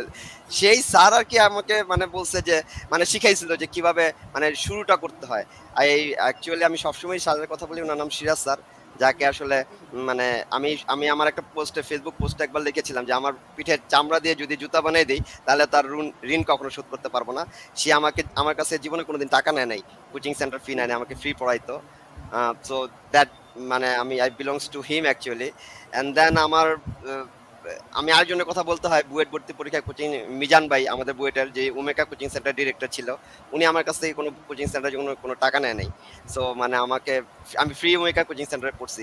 মানে যেই সময়, ওই সময় বাইশ বছর আগে যেটা ছয় হাজার টাকা ছিল কোচিং ভর্তি ফি সে, সেটা আমার জন্য ফ্রি করে দিছে। যে তুমি নাঙ্গস থেকে আসবে, এত দূর থেকে আসবে আচ্ছা ঠিক আছে, তুমি পড়ো। মানে তোমার টাকা লাগবে না। ওইখানে কিন্তু এক টাকা ডিসকাউন্ট দেন আপনারা জানেন। ভর্তি কোচিং সেন্টার এক টাকা ডিসকাউন্ট পাওয়া যায় না। কিন্তু উনি আমাকে ফ্রি পড়াইছিল। আমি জানি না, আমি কিন্তু ভালো রেজাল্ট করি না, আমি কিন্তু স্ট্যান্ড করা পোলাপেন ছিলাম না। কিন্তু কেন জানি আমাকে এই ব্যাপারটা হয়েছিল। আমি বলি যে, আমি ক্লাস ফাইভে ভালো রেজাল্ট করলাম হাই স্কুলে আমি ক্লাস এইট পর্যন্ত ফ্রি পড়াশোনা করেছি। ক্লাস এইটে ভালো রেজাল্ট করছি মেট্রিক পর্যন্ত ভালো পড়াশোনা ফ্রি পড়াশোনা করছি, সরকারি ইউনিভার্সিটি পড়াশোনা করছি। সারা জীবনে এন্টার লাইফে আই হ্যাভ স্পেন্ড ভেরি মানে very little about my education expenses but I have gone through all sort of things only আল্লাহ অথবা ভাগ্যে এটা রেখেছে, যে কারণে এটা হয়েছে। কিন্তু এটার পিছনে আসলে কিছু কিছু জায়গায় না হার্ডওয়ার্ক আছে। মানে লাখ আছেই। হার্ডওয়ার্কটা খুব ম্যাটার করে। করছি হার্ডওয়ার্ক করছি একটা সময়। অ্যান্ড তারপরে কিন্তু যখন আমরা বুয়েট থেকে বেরোলাম বা আমি যখন বুয়েট থেকে নিজে বেরোয়ার পর থেকে কিন্তু আমার আরেকটা হার্ডওয়ার্ক শুরু হয়ে যায়। সেই হার্ডওয়ার্কটা হচ্ছে যে মানে আমি আপনাদের একটা জিনিস বলি, আমার শিফটিং জব ছিল। কালকে আমি ময়মনসিং একটা কেরিয়ার মিটে ছিলাম স্কুল অফ ইঞ্জিনিয়ার্সের সেখানে ময়মনসিংয়ে প্রায় আটশো ইঞ্জিনিয়ারিং স্টুডেন্ট আসছিল একটা অডিটোরিয়ামে তো তারা আমার কাছে জানতে চাচ্ছিল যে ইঞ্জিনিয়ারদের জন্য বড় বা ই হওয়ার জন্য কি করতে হবে? স্টুডেন্টরা সবাই। এখন যদি কোনো স্টুডেন্ট কেউ শুনে থাকে, তাদের জন্য শুধু আমি একটা কথাই বলব যে স্টুডেন্টের জন্য পড়াশোনাটা, তার পড়াশোনাটা হচ্ছে এক, যেটা আমি গতকালও বলছি, আজকেও বলছি। আর পড়াশোনা বাইরে যা কিছু আছে, ভালো গান করতে পারা, ভালো নাচতে পারা বা ভালো সব কিছু করতে পারা, এগুলো হচ্ছে সব জেরো মানে ভালো গাইতে পারি জেরো ভালো নাচতে পারি জিরো ভালো ফেসবুক করতে পারি, আমার এক লাখ ফলোয়ার টিকটক করতে পারি ইউটিউব চ্যানেল আছে, এগুলো জিরো জিরো জিরো জিরো আর পড়াটা হচ্ছে এক। যদি পড়াটা না থাকে, তাহলে সব জিরো তো একটা স্টুডেন্টের জন্য এটাকে বলি আমি এক, যে একটা স্টুডেন্টকে সামনে একটা হচ্ছে তাকে পড়তে হবে, এবং বাদ বাকি তাহলে সে এক লাখ, দশ লাখ, এক কোটি হয়ে যাবে, কোনো সমস্যা নাই। কিন্তু এক যদি কাটা পড়ে, তাহলে সব জিরো হয়ে যাবে। তো কালকে ওদেরকে আমি এটা বলার পর সবাই খুব মানে অ্যাপ্রিসিয়েট করল যে, না, স্যার, আপনি আসলে তার ঠিক বলেন হয়তো বা আমাদেরকে পড়াশোনা করতে। আমি বলছি যে, দেখো, এটা ছাড়া আর কোনো গতি নাই। কারণ আমি আজকে যে জায়গায় এসেছি আমি আমি মনে করি আমি যদি না পড়াশোনা করতাম, আমি তো কোনোদিন এখানে আসতে পারতাম নেভার এটা সম্ভব না। তো পড়াশোনাটা করাটা এবং তার সাথে সাথে পড়াশোনাটা কিন্তু কঠিন। খুব হার্ডওয়ার্কের মধ্যে পড়াশোনা করতে হবে। হার্ডওয়ার্কের মধ্যে পড়াশোনা করতে হবে মানে একটু এফোর্ট দেওয়া লাগবে। আর যে কোশ্চেনটা এবার যে দ্বিতীয় কোশ্চেনটাতে আসি, দ্বিতীয় কোশ্চেনটা একটু এবার একদমই সরাসরি প্রফেশন রিলেটেড কোশ্চেন হয়েছে। প্রফেশন রিলেটেড কোশ্চেনে যেটা আবির কোশ্চেনটা করেছেন, জনাব আবির, উনি কোশ্চেনটা করেছেন যে অনেকে রিটার্ন পরীক্ষা নেয় বাইবা নেয়, কিন্তু তারপরেও কেন ডাকা হয় না বা অদৃশ্য কারণেই হয়ে যায়। আমি একটা জাস্ট ধারণা দিই আপনাদেরকে। আমি আমাদের অর্গানাইজেশন আমি এভরি গত দশ বছর ধরে আমি ইন্টারভিউ বোর্ডে বসতেছি। আমি কম করে হলো সম্ভবত হাজার খানেক ইন্টারভিউ এর সাথে কথা বলেছি মানে ইন্টারভিউ বোর্ডে হাজার হবে, একদম কনফার্ম হাজার হবে, কারণ প্রতি সপ্তাহে ইন্টারভিউ বোর্ড থাকে। তো দেখা গেছে যে আমরা যখন একটা পোস্টে সার্কুলার দেই, সেই পোস্টে বিডি জবস এবং কাগজ মিলে একটা সার্কুলার দিলে কম করে হলেও দশ হাজার অ্যাপ্লিকেশন পড়ে দশ হাজার অ্যাপ্লিকেশন পড়ার পরে যেটা হয় যে আনফর্চুনেট ফ্যাক্ট যেটা সত্য, দশ হাজার অ্যাপ্লিকেশন সিবি অনেক সময় খোলাও হয় না। ভেরি র্যান্ডমলি লটারি মতো অনেক সময় হয় বা বিডি জবসে গেলে অনেক সময় গো থ্রু করা যায় বা সিবিগুলো একটু দেখে সেখান থেকে আমাদেরকে বিশ থেকে তিরিশটা সিবি বের করতে হয় বা যদি আমরা রিটার্ন নেওয়ার চেষ্টা করি তাহলে একশো, একশোর বেশি রিটার্নও করা যায় না। হান্ড্রেড রিটার্ন হয় রিটার্ন হওয়ার পরে সেই হান্ড্রেড থেকে টপ টোয়েন্টি হয়, সেই টপ টোয়েন্টি থেকে হয়তো বা দশ পনেরো জনকে বাইবা জন রাখা হয়, সেই বাইবা থেকে হয়তো একটা, দুইটা, একজনকে, দুইজনকে রিক্রুট করা হয়। তো this a very long process একটা অর্গানাইজেশনে একটা recruitment is a costly things এবং এটা একটা খুব লং প্রসেস ওনার যে হতাশাটা, সেই হতাশাটা হচ্ছে আমাকে জানালো না কেন যে আমার চাকরিটা হয় নাই this is a very bad practice অনেক জায়গায় এই জিনিসটা হয় যে অনেক সময় জানায় না। আবার আপনি যদি ভালো অর্গানাইজেশন হয়, ভালো অর্গানাইজেশন কিন্তু ফোন করে বলে দেয় যে, আপনার কিন্তু হয় নাই চাকরিটা। তো ডিপেন্ডস অন আপনি আসলে কোন অর্গানাইজেশনে বা কোথায় কীভাবে অ্যাপ্লাই করেছেন বা কোথায় most of the cases at least আমি চেষ্টা করি, আমি যাদের সাথে বসি আমি বলি যে অ্যাটলিস্ট এই দশজনকে মধ্যে যাকে নিয়েছি, তাকে তো সে তো জানবেই নিছি বাকি যারা নেয় না, তাদেরকে অ্যাটলিস্ট ফোন করে জানাই দাও যে thank you but better luck next time এটা আসলে ইটস এ সিঙ্গেল মানে কার্টিসি টাইপের ব্যাপার আর কি। অনেকে এটা ফলো করে, অনেকে করে না বাট মাল্টি ন্যাশনাল বা বড় বড় অর্গানাইজেশনরা এটা ফলো করার চেষ্টা করে। সো এটাই আসলে অন্য কোনো কিছু না বাট দ্য থিং ইজ অনেক সময় আবার ব্যাপারটা অনেক লম্বা হয়ে যায়। যেমন আমার একটা মনে আছে, আমার যে কোনো একটা সার্কুলারে যদি আজকে সার্কুলার যায়, এই রিক্রুটমেন্টটা আসলে করি হচ্ছে আমরা, ধরেন এটা কি মাস? জুন মাস। আমরা হয়তো রিক্রুটমেন্টটা করব সেপ্টেম্বরে বা অক্টোবরে ইটস এ লং প্রসেস তো মানুষ মনে করে কি, এখনই অ্যাপ্লাই করে, এখনই ইনবক্স এই আমি অ্যাপ্লাই করছি, চাকরিটা মানে আমার এক তারিখে আমি চাকরি ছেড়ে দেবো। ভাই, ব্যাপারটা অত সহজ না। এটা একটা লম্বা চূড়া প্রসেস তো আমি আমি নিজেও আমার ব্যক্তিগত লাইফ আমি যতগুলো লাইফ পর্যন্ত চারটা চাকরি সুইচ করেছি, চারটা চাকরির মধ্যে এক প্রথম চাকরিটা আমি মানে আমি থিসিস ডিজাইন করতাম, ওইখানে সেখান থেকে ওরা আমার থিসিস যেহেতু করেছি প্ল্যান্টের উপরে, সেখানে আমি চাকরিটা পেয়েছি। কিন্তু বাদ বাকি সবগুলোতে কিন্তু আমার অ্যাপ্লিকেশন থেকে প্রায় তিন, চার, পাঁচ, ছয় মাস পর্যন্ত, বর্তমান বসুন্ধরা তো আমি প্রায় যখন আমার বাইবা হয়েছিল, তার প্রায় পাঁচ মাস পরে আমি জয়েন করেছিলাম। তো এটা কিন্তু একটা লম্বা প্রসেস ওই পেশেন্সটা রাখাটা জরুরি পেশেন্সটা রাখতে হয়, এটাই আর কি বলব। ধন্যবাদ, অনেক সময় নিলাম বাট আমার মনে হচ্ছে যে আনসারগুলো দেওয়া উচিত। জি, জাকারিয়া ভাই, আপনি খুবই সুন্দর করে উত্তরগুলো দিয়েছেন। আমার আরও কিছু প্রশ্ন আপনার কাছে আছে। তরুণদের পক্ষ থেকে, যেহেতু আমি এই প্রশ্নগুলোর সম্মুখীন অনেক হই তো সেটা হলো যে তরুণদের, আপনি তো পড়াশোনার কে আপনি একদম ফার্স্ট প্রায়োরিটি দিয়েছেন এবং অবশ্যই পড়াশোনার কোনো বিকল্প নাই, পড়াশোনা করতেই হবে। কিন্তু পড়াশোনা করার ক্ষেত্রে কিন্তু দুইটা সেগমেন্ট আমি দেখেছিলাম, একটা হচ্ছে যে আমি রেজাল্ট ভালো করব। সো রেজাল্ট ভালো করার জন্য আমার এক পড়াশোনা, আরেকটা হচ্ছে যে আমার পারিপার্শ্বিক যে সাধারণ জ্ঞান বা আমার যে স্কিলগুলা যে আমি আসলে বই যেটা পড়লাম, যেরকম আপনাকে আমি প্রোগ্রামের আগে বলছিলাম যে আমি আসলে লটা শিখেছি কিন্তু যখন আমি কোর্টে গেলাম তখন। বইপত্র পড়ে পরীক্ষার রেজাল্টে যেটা হলো সেটার সাথে আসলে মানে পড়াশোনা বই আর আমার প্র্যাকটিসের জায়গাটা একদম কিন্তু ভিন্ন ছিল। আমাদের এডুকেশন সিস্টেমেও কিন্তু আমরা দেখছি যে যেই লুপ হোলটা যেটা আছে, সেটা হলো যে আমরা বই পড়ছি, কিন্তু প্র্যাকটিক্যালের সাথে কিন্তু ফার ডিফারেন্স তো ছেলেপেলেরা তখন হতাশা হয়, কারণ তারা বড় বড়, ভালো ইউনিভার্সিটিতে অনেক টাকা ইনভেস্ট করে পড়াশোনা করার পরে তারা যে চাকরি বাকরি পাচ্ছে না। বা চাকরি বাকরি পেলেও মানসম্মত যেই স্যালারিটা তারা ডিজার্ভ করে, সেই স্যালারির চাকরি কিন্তু তারা পায় না। কারণ আমি নিজেও দেখেছি যে ঢাকা ইউনিভার্সিটির একটা ছেলে যে মাস্টার্স পাশ করে বের হলো, সে হয়তো আট হাজার টাকার বেতনও সে পাচ্ছে না। তো অথচ এদিকে দেখা গেল যে একটা সিএনজিওয়ালা, রিক্সাওয়ালা বা তাদেরও প্রফেশন এটা সেই প্রফেশনকে আমি ছোট করছি না, কিন্তু যে আসলে এত কষ্ট করে পড়াশোনা করছে, সে যদি আসলে সেই স্যালারিটা না পায়, তার কিন্তু তখন দুঃখজনক একটা ফ্রাস্ট্রেশনে চলে আসে। তো এই ক্ষেত্রে আমি আপনাকে জিজ্ঞেস করব যে, এই কর্পোরেট লাইনে যারা যেতে চায় বা এটার পাশাপাশি যারা ব্যবসা করতে চায়, এই ক্ষেত্রে তাদের আসলে পড়াশোনার পাশাপাশি কোন ধরনের জ্ঞান তাদের আসলে নেওয়া উচিত? বা কীভাবে তারা নিতে পারে? এক হচ্ছে কি ধরনের জ্ঞান তাদের নেওয়া উচিত এবং কীভাবে তারা নিতে পারে? সেটা যদি আপনি একটু আমাদেরকে বলতেন। ধন্যবাদ আপু। যেটা হচ্ছে, আপনি যে কোশ্চেনটা করেছেন না, এই কোশ্চেনটা এই কোশ্চেনের আনসারটা খুব রিলেটিভ যে আমি আসলে কি আনসার করব সেটা ভাবছিলাম যে আসলে কোনটা করলে। তবে সবচেয়ে বেশি ইম্পর্টেন্ট আজকে যে টাইটেলটা এই টাইটেল যেটা আছে না, এই টাইটেলটা জাস্ট গুগল করলে বের হয়ে যাবে যে কি করতে হবে। জাস্ট এই যে আজকে যে অনুষ্ঠানের যে title importance of soft skill in career development এই লেখাটা জাস্ট কপি পেস্ট করে গুগলে দিবেন। দেখবেন যে চোদ্দ লক্ষ সাইট আসছে, এখান থেকে যে কোনো একটা সাইটে ক্লিক করবেন, অনেক কথা পাবেন। আমি যা বলব তার চেয়ে অনেক গুরুত্বপূর্ণ কথা আছে। কিন্তু একটা জিনিস সবচেয়ে বেশি ইম্পর্টেন্ট যেটা নাই, সেটা হচ্ছে হিউম্যানশিপ ডেভেলপ করা। মানবিকতাটা ডেভেলপ করাটা খুব ইম্পর্টেন্ট আপনার মাঝখানে যদি আপনার মানবিকতা না থাকে, আপনার শিক্ষার কোনো দাম নাই। আপনি যত শিক্ষিতই হন না কেন, মানবিকতাটা থাকতে হবে। তো মানবিকতাটা কীভাবে ডেভেলপ করা যায়? মানবিক হইতে হইলে আপনাকে মানুষের সাথে মিশতে হবে। So most of the cases আমরা যখন চিড়াখানায় যাই না, আমরা দেখি কি যে আমরা বাইরে ভিতরে একটা বানর বা হনুমান, হনুমানগুলো ভিতর থেকে কি চিন্তা করতেছে জানেন? হনুমানগুলো ভিতর থেকে চিন্তা করতেছে, আমি ভিতর ঠিক আছে, তোরা সব চিড়াখানার ভিতরে। দ্যাটস দ্য থিং অ্যাকচুয়ালি মানে ব্যাপারটা হচ্ছে যে আপনি কোন পার্সপেক্টিভে আছেন, আপনি কাদের সাথে মিশছেন, কীভাবে নিজেকে ডেভেলপ করছেন, সেটাই আপনাকে আগায় নিয়ে যাচ্ছে। আপনি অনেক শিক্ষিত হতে পারেন ইমেটেরিয়াল আপনি দেখেন, বাংলাদেশের অনেক শিক্ষিত লোক অনেক ধরনের কুকর্ম করছে না? বাংলাদেশের একজন শীর্ষস্থানীয় আপনারা সবাই জানেন আপনার আইনের সাথে আছেন আইনের বর্তমান যে একজন শীর্ষস্থানীয় পিকে হালদার প্রশান্ত কুমার হালদার আপনি ওনার প্রোফাইল দেখেছেন নিশ্চয়ই আপনারা?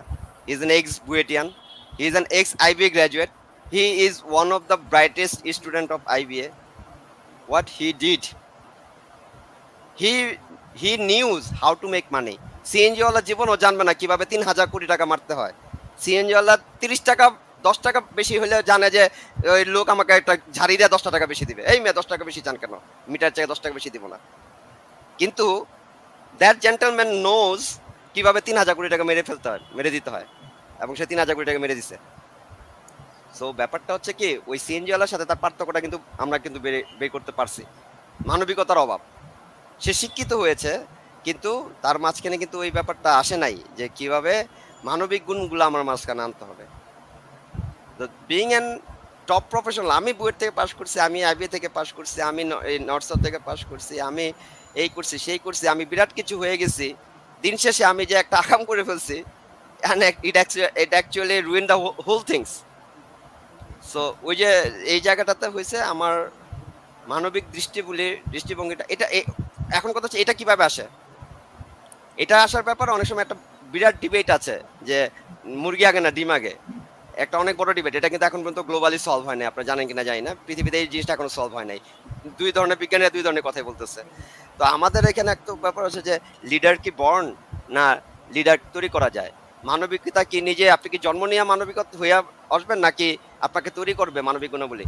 মানবিক গুণাবলীটা আপনার মাঝখানে আসবে আপনার ফ্যামিলি থেকে, আপনার সারাউন্ডিং থেকে এবং আপনার নলেজ থেকে, আপনার পড়াশোনা থেকে এবং আপনি এই পড়াশোনাটাকে কীভাবে আপনার প্র্যাকটিসের মধ্যে নিয়ে আসতে পারেন? আমি আমার কাছে একজন একটা ছেলে আসছিল একবার বলে স্যার ভাই, কিছু একটা বলেন আমাকে। আমি বললাম যে, দেখেন in your early life you read the Adarsha Lipi বলতাম আমরা ছোটবেলায়, সদা সত্য কথা বলিবে কখনো মিথ্যা বলিবে না, বড়দেরকে সম্মান করবেন। এই যে আট, দশটা লাইন ছিল না, আমি বলি, এই আট, দশটা লাইন প্র্যাকটিস করেন কালকে থেকে। The life will be changed need M B A you don't need anything you don't need engineering you don't need doctor advocate and nothing আদর্শ লিপির প্রথম দশটা লাইন প্র্যাকটিস করেন কালকে সকাল থেকে। যারা শুনছেন, আমি নিজে চেষ্টা করি, পারি না। কসম, আমারও নিজেরও সমস্যা হয়। আদর্শ লিপির প্রথম দশটা লাইন প্র্যাকটিস করেন নিজের চরিত্রের মধ্যে। দেখবেন যে আপনি চেঞ্জ হয়ে গেছেন। আমরা বেসিক থেকে দূরে যাইতে যাইতে যাইতে যাইতে যাইতে যাইতে এমন একটা জায়গায় চলে গেছি, যেখানে আর বেসিকে ফিরতে পারতেছি এখন বেসিক খুঁজে বেড়াচ্ছি যে কোথায় বেসিক। বিল্ডিং বুর্জাল খলিফাতে গেছি গত দুবাইতে। বুর্জাল খলিফাতে একশো চব্বিশ তালাতে উঠলাম এক মিনিটে। তো একশো চব্বিশ তালার উপরে আরও পঞ্চাশ তালা আছে, একশো চৌষট্টি তালা পর্যন্ত এটার উপরে। একশো চৌষট্টি তালার উপরে যায় যদি আপনি এখন বলেন যে বুর্জ খলিফা, তোমার ইটা দেখতে আসছি, বেসটা দেখতে আসছি, পারবেন? তার বেস তো একশো চৌষট্টি তালার নিচেও আরও একশো চৌষট্টি ফিট একশো চৌষট্টি তালার নিচে। আপনি তো পাবেন না, আপনি তো হারাই ফেলছেন। আপনি তো এখন বুর্জ খলিফার উপরে। এখন আমাদেরকে, আমার মানবিকতা টানতে হবে। বেসিকে ফিরে যেতে হবে রুটে আসতে হবে। রুট কি? রুট হচ্ছে ভেরি বেসিক গুণাবলী, যে আমাদের মানবিক গুণাবলীটা আমাদের প্র্যাকটিস করতে হবে। তাহলে এভরিথিং উইল বি ডান আমি বললাম তো এভরিথিং উইল বি ডান আজকে একটা মাস্টার স্টুডেন্টের কথা বলতেছেন, সাড়ে আট হাজার টাকার চাকরি পাইতেছে না। মাস্টার স্টুডেন্ট আমি অ্যাট লিস্ট একশো মাস্টার স্টুডেন্টকে চিঠি লিখতে দিছি ইংলিশে তারা লিখতে পারে নাই। তারা লিখতে পারে না একটা চিঠি লিখতে পারে নাই। Masters doesn't necessary mean anything অথচ আপনি যদি একটা ক্লাস ফাইভের একটা ভালো একটা স্কুলের ক্লাস ফাইভের একটা বাচ্চাকে বলেন যে write something about your self you will write about one two two hundred words page মানে একটা ইয়াসে লেখা চলে আসবে। তাহলে আমি কি বলব যে ক্লাস টু ছেলেটা, ওই মাস্টার্সের ছেলে থেকে বেশি হয়েছে তাকে চাকরিটা দিব আমি, তাকে তো দিতে পারব না। দ্য থিং ইজ দ্যাট তার মাঝখানে ওই ব্যাপারগুলো কিন্তু আনতে হবে যে আমি আমি একটা চাকরিতে যাচ্ছি বা আমি একটা জায়গায় যাচ্ছি আমি কোথায় যাচ্ছি কি মোস্ট অফ দ্য কেসেস আমি বলি যারা চাকরিতে যায় না তারা কেউ ওই জব ডেসক্রিপশনই পড়ে না। খালি ওই পোস্টের নামটা পড়ছে পোস্টের নামটা পড়ছে অ্যাসিস্ট্যান্ট এক্সিকিউটিভ পড়ে চলে আসছে। আর কিছু পড়ে নাই যেটা কোন কোম্পানি কোন জিনিস আমার আমি আরও মজা কেটে আমরা তো আরও বড় গ্রুপে আছি তো মানে আমরা মনে করেন বসুন্ধরা এলপি গেছে জন্য রিক্রুটমেন্টে বসে আছি। তো আমি বললাম যে তুমি কোন পোস্টের জন্য আসছো বা কি? তো বলতেছে যে আমি তো বসুন্ধরা কোন পোস্টের জন্য আসছো? বসুন্ধরা গ্রুপে আসছি। ভাই বসুন্ধরা গ্রুপে তো তিরিশটা প্রতিষ্ঠান। তুমি কোন প্রতিষ্ঠানের বাইবা দিতে আসো? মানে they don't study they exactly they don't care about knowledge আমি যদি এখন আপনি মাস্টার্স হয়েছে দেখে তারে আমার দশ হাজার টাকা বেতন দিতে হবে তো আমার তো ভাই বুঝতে হবে যে এম আই বিং মানে eligible to get the ten thousand আমি হ্যাঁ আমি মাস্টার্স করছি দশ বছর একুশ বছর পড়াশোনা করছি আমার এই twenty years academic life but আমি কি আমার নিজের প্রতি সবই সুবিচারটা করেছি? যে আমি এটা যতটুকু করার ততটুকু করতে পারছি। যদি আমি এটা করতে পারি যদি আমি মনে করি যে হ্যাঁ এটা আমার হয়েছে and I don't get this things then the things come then the discussion may happen যে আমি আসলে এখন কি করণীয়? আমার তো সব ক্যাটাগরি আছে। আমাকে দেখাতে পারবেন না বাংলাদেশে, আমি আপনাকে বললাম এই লাইভের মাধ্যমে, যারা দেখতেছে দেশ বিদেশে, কোনো তরুণ those who can read well write well listen well speak well তারা কোনো জায়গায় চাকরি করতে পারতেছে না, তারা চাকরি পাচ্ছে না এবং তারা ইয়ের মধ্যে আছে হার্ডশিপের মধ্যে আছে bring that guy to me I will give em job চারটা জিনিস পারতে হবে।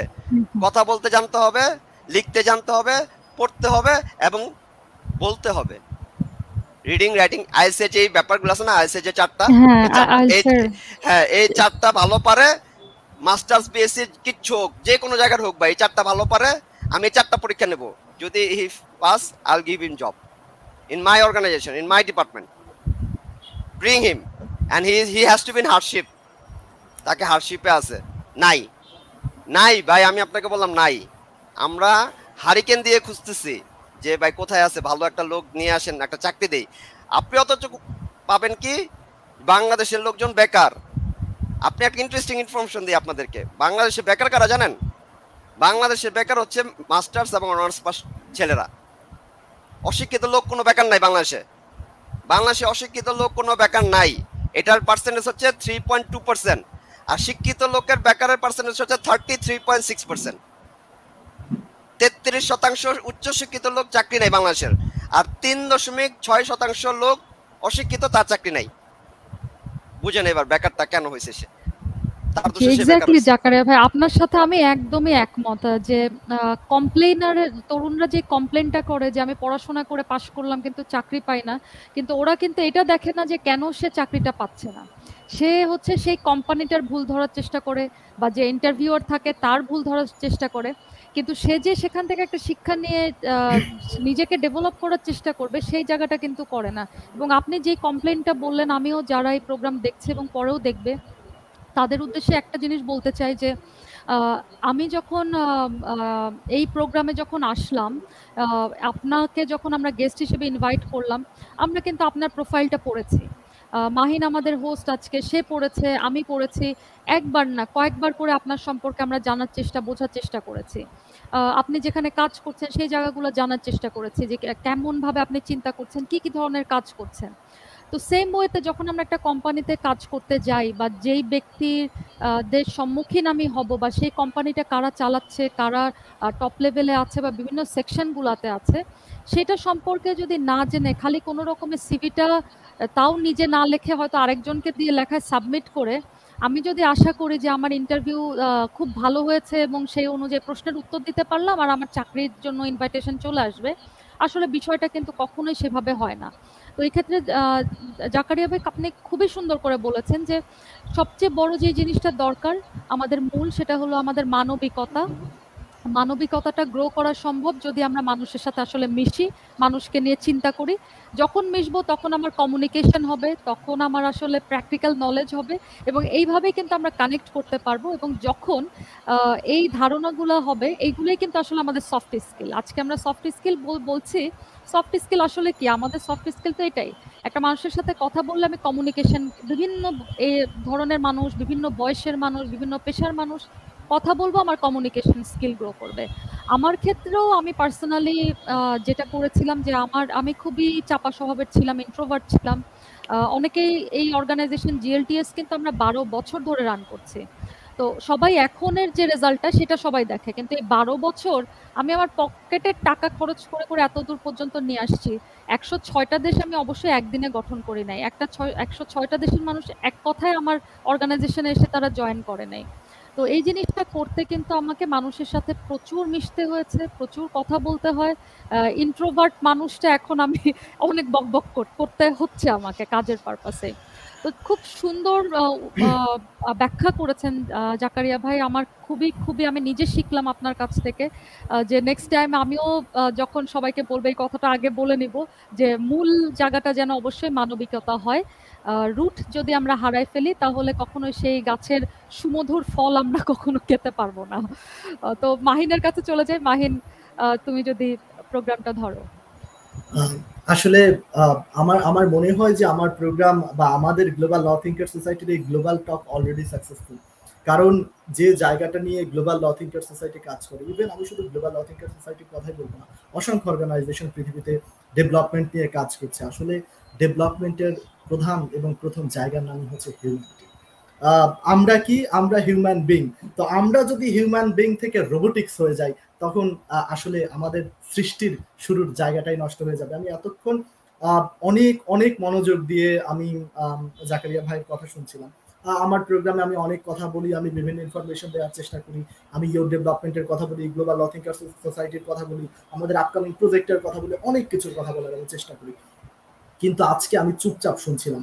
প্রথম যেটা আমি বলব জাকারিয়া ভাই খুব চমৎকার একটা কথা ইয়াং জেনারেশনের উদ্দেশ্যে বলেছে যে এডুকেশন ইজ ওয়ান আর প্রত্যেকটা জিনিসই হচ্ছে জিরো বাট ওই জিরোগুলো অনেক বেশি ভ্যালুয়েবল হয়ে যায় যখন আমরা ওই এককে এনশিওর করতে পারি, তখন দশ, একশো, এক হাজার, এক লাখ, এক কোটি এরকম হয়ে যায়। এবং এটাই আসলে আমার কাছে মনে হয় এডুকেশন এবং সফট স্কিলের মধ্যে কানেক্টিভিটি একটা আর একটাকে ছাড়া আসলে খুব বেশি সামনের দিকে নিয়ে যেতে পারে না। যেমন সে ফর এক্সাম্পল আমাদের শুধুমাত্র যদি অনার্স মাস্টার্স এর সার্টিফিকেট থাকে, যেটা জাকারিয়া ভাই, বাংলাদেশের সব থেকে বড় একটা প্রতিষ্ঠান ওয়ান অফ দ্য বিগ আমি বলতে চাই না, আমি বিগ বলতে চাই বিগেস্ট বলতে চাই বসুন্ধরা গ্রুপ সেই জায়গার এক্সপেরিয়েন্স থেকেও কিন্তু বললেন যে অনেক অনার্স মাস্টার্স ছেলেপান আসে, কিন্তু ওই যে লিসেনিং রিডিং রাইটিং স্পিকিং এই জায়গাগুলো কিন্তু বলতে পারে না। আমাদের শুধুমাত্র কিন্তু একাডেমিক সার্টিফিকেট এই জায়গাগুলো এনশিওর করতে পারে না। তখনই যেটা বললেন যে আমাদের সফট স্কিলের জায়গাগুলো চলে আসে এবং এই দুইটার মধ্যে যখন কানেক্টিভিটি হয়, তখন কিন্তু আমরা এক একজন জাকারিয়া জালালকে পাবো, এক একজন রমান স্মিতাকে পাবো এবং এরকম এক এক অসংখ্য এন্টারপ্রেনার আমরা পাবো যখন দুইটার আমরা কানেক্টিভিটি করতে পারি। কেউই উইদাউট স্টাডি এই এই পজিশনে আসেনি, আবার কেউই উইদাউট সফট স্কিল ডেভেলপমেন্ট এই পজিশনে আসেনি। আর একটা কথা বলতে চাই আসলে হিউম্যানিটির কথা যেটা জাকারিয়া ভাই বললেন, আপনারা যারা এই মুহূর্তে আমাকে শুনছেন, আমি দীর্ঘদিন যাবত প্রায় আড়াই প্রায় দুই দুই বছরের বেশি হয়ে গেল আমি গ্লোবাল ল থিঙ্কার সোসাইটির বিভিন্ন প্রোগ্রামে আমি হোস্টিং করি। আমি অন্যান্য জায়গাতেও হোস্টিং করি। বাট আমার হোস্টিং এর মধ্যে আমি এরকম ইম্পর্টেন্ট কথা খুব কম পেয়েছি।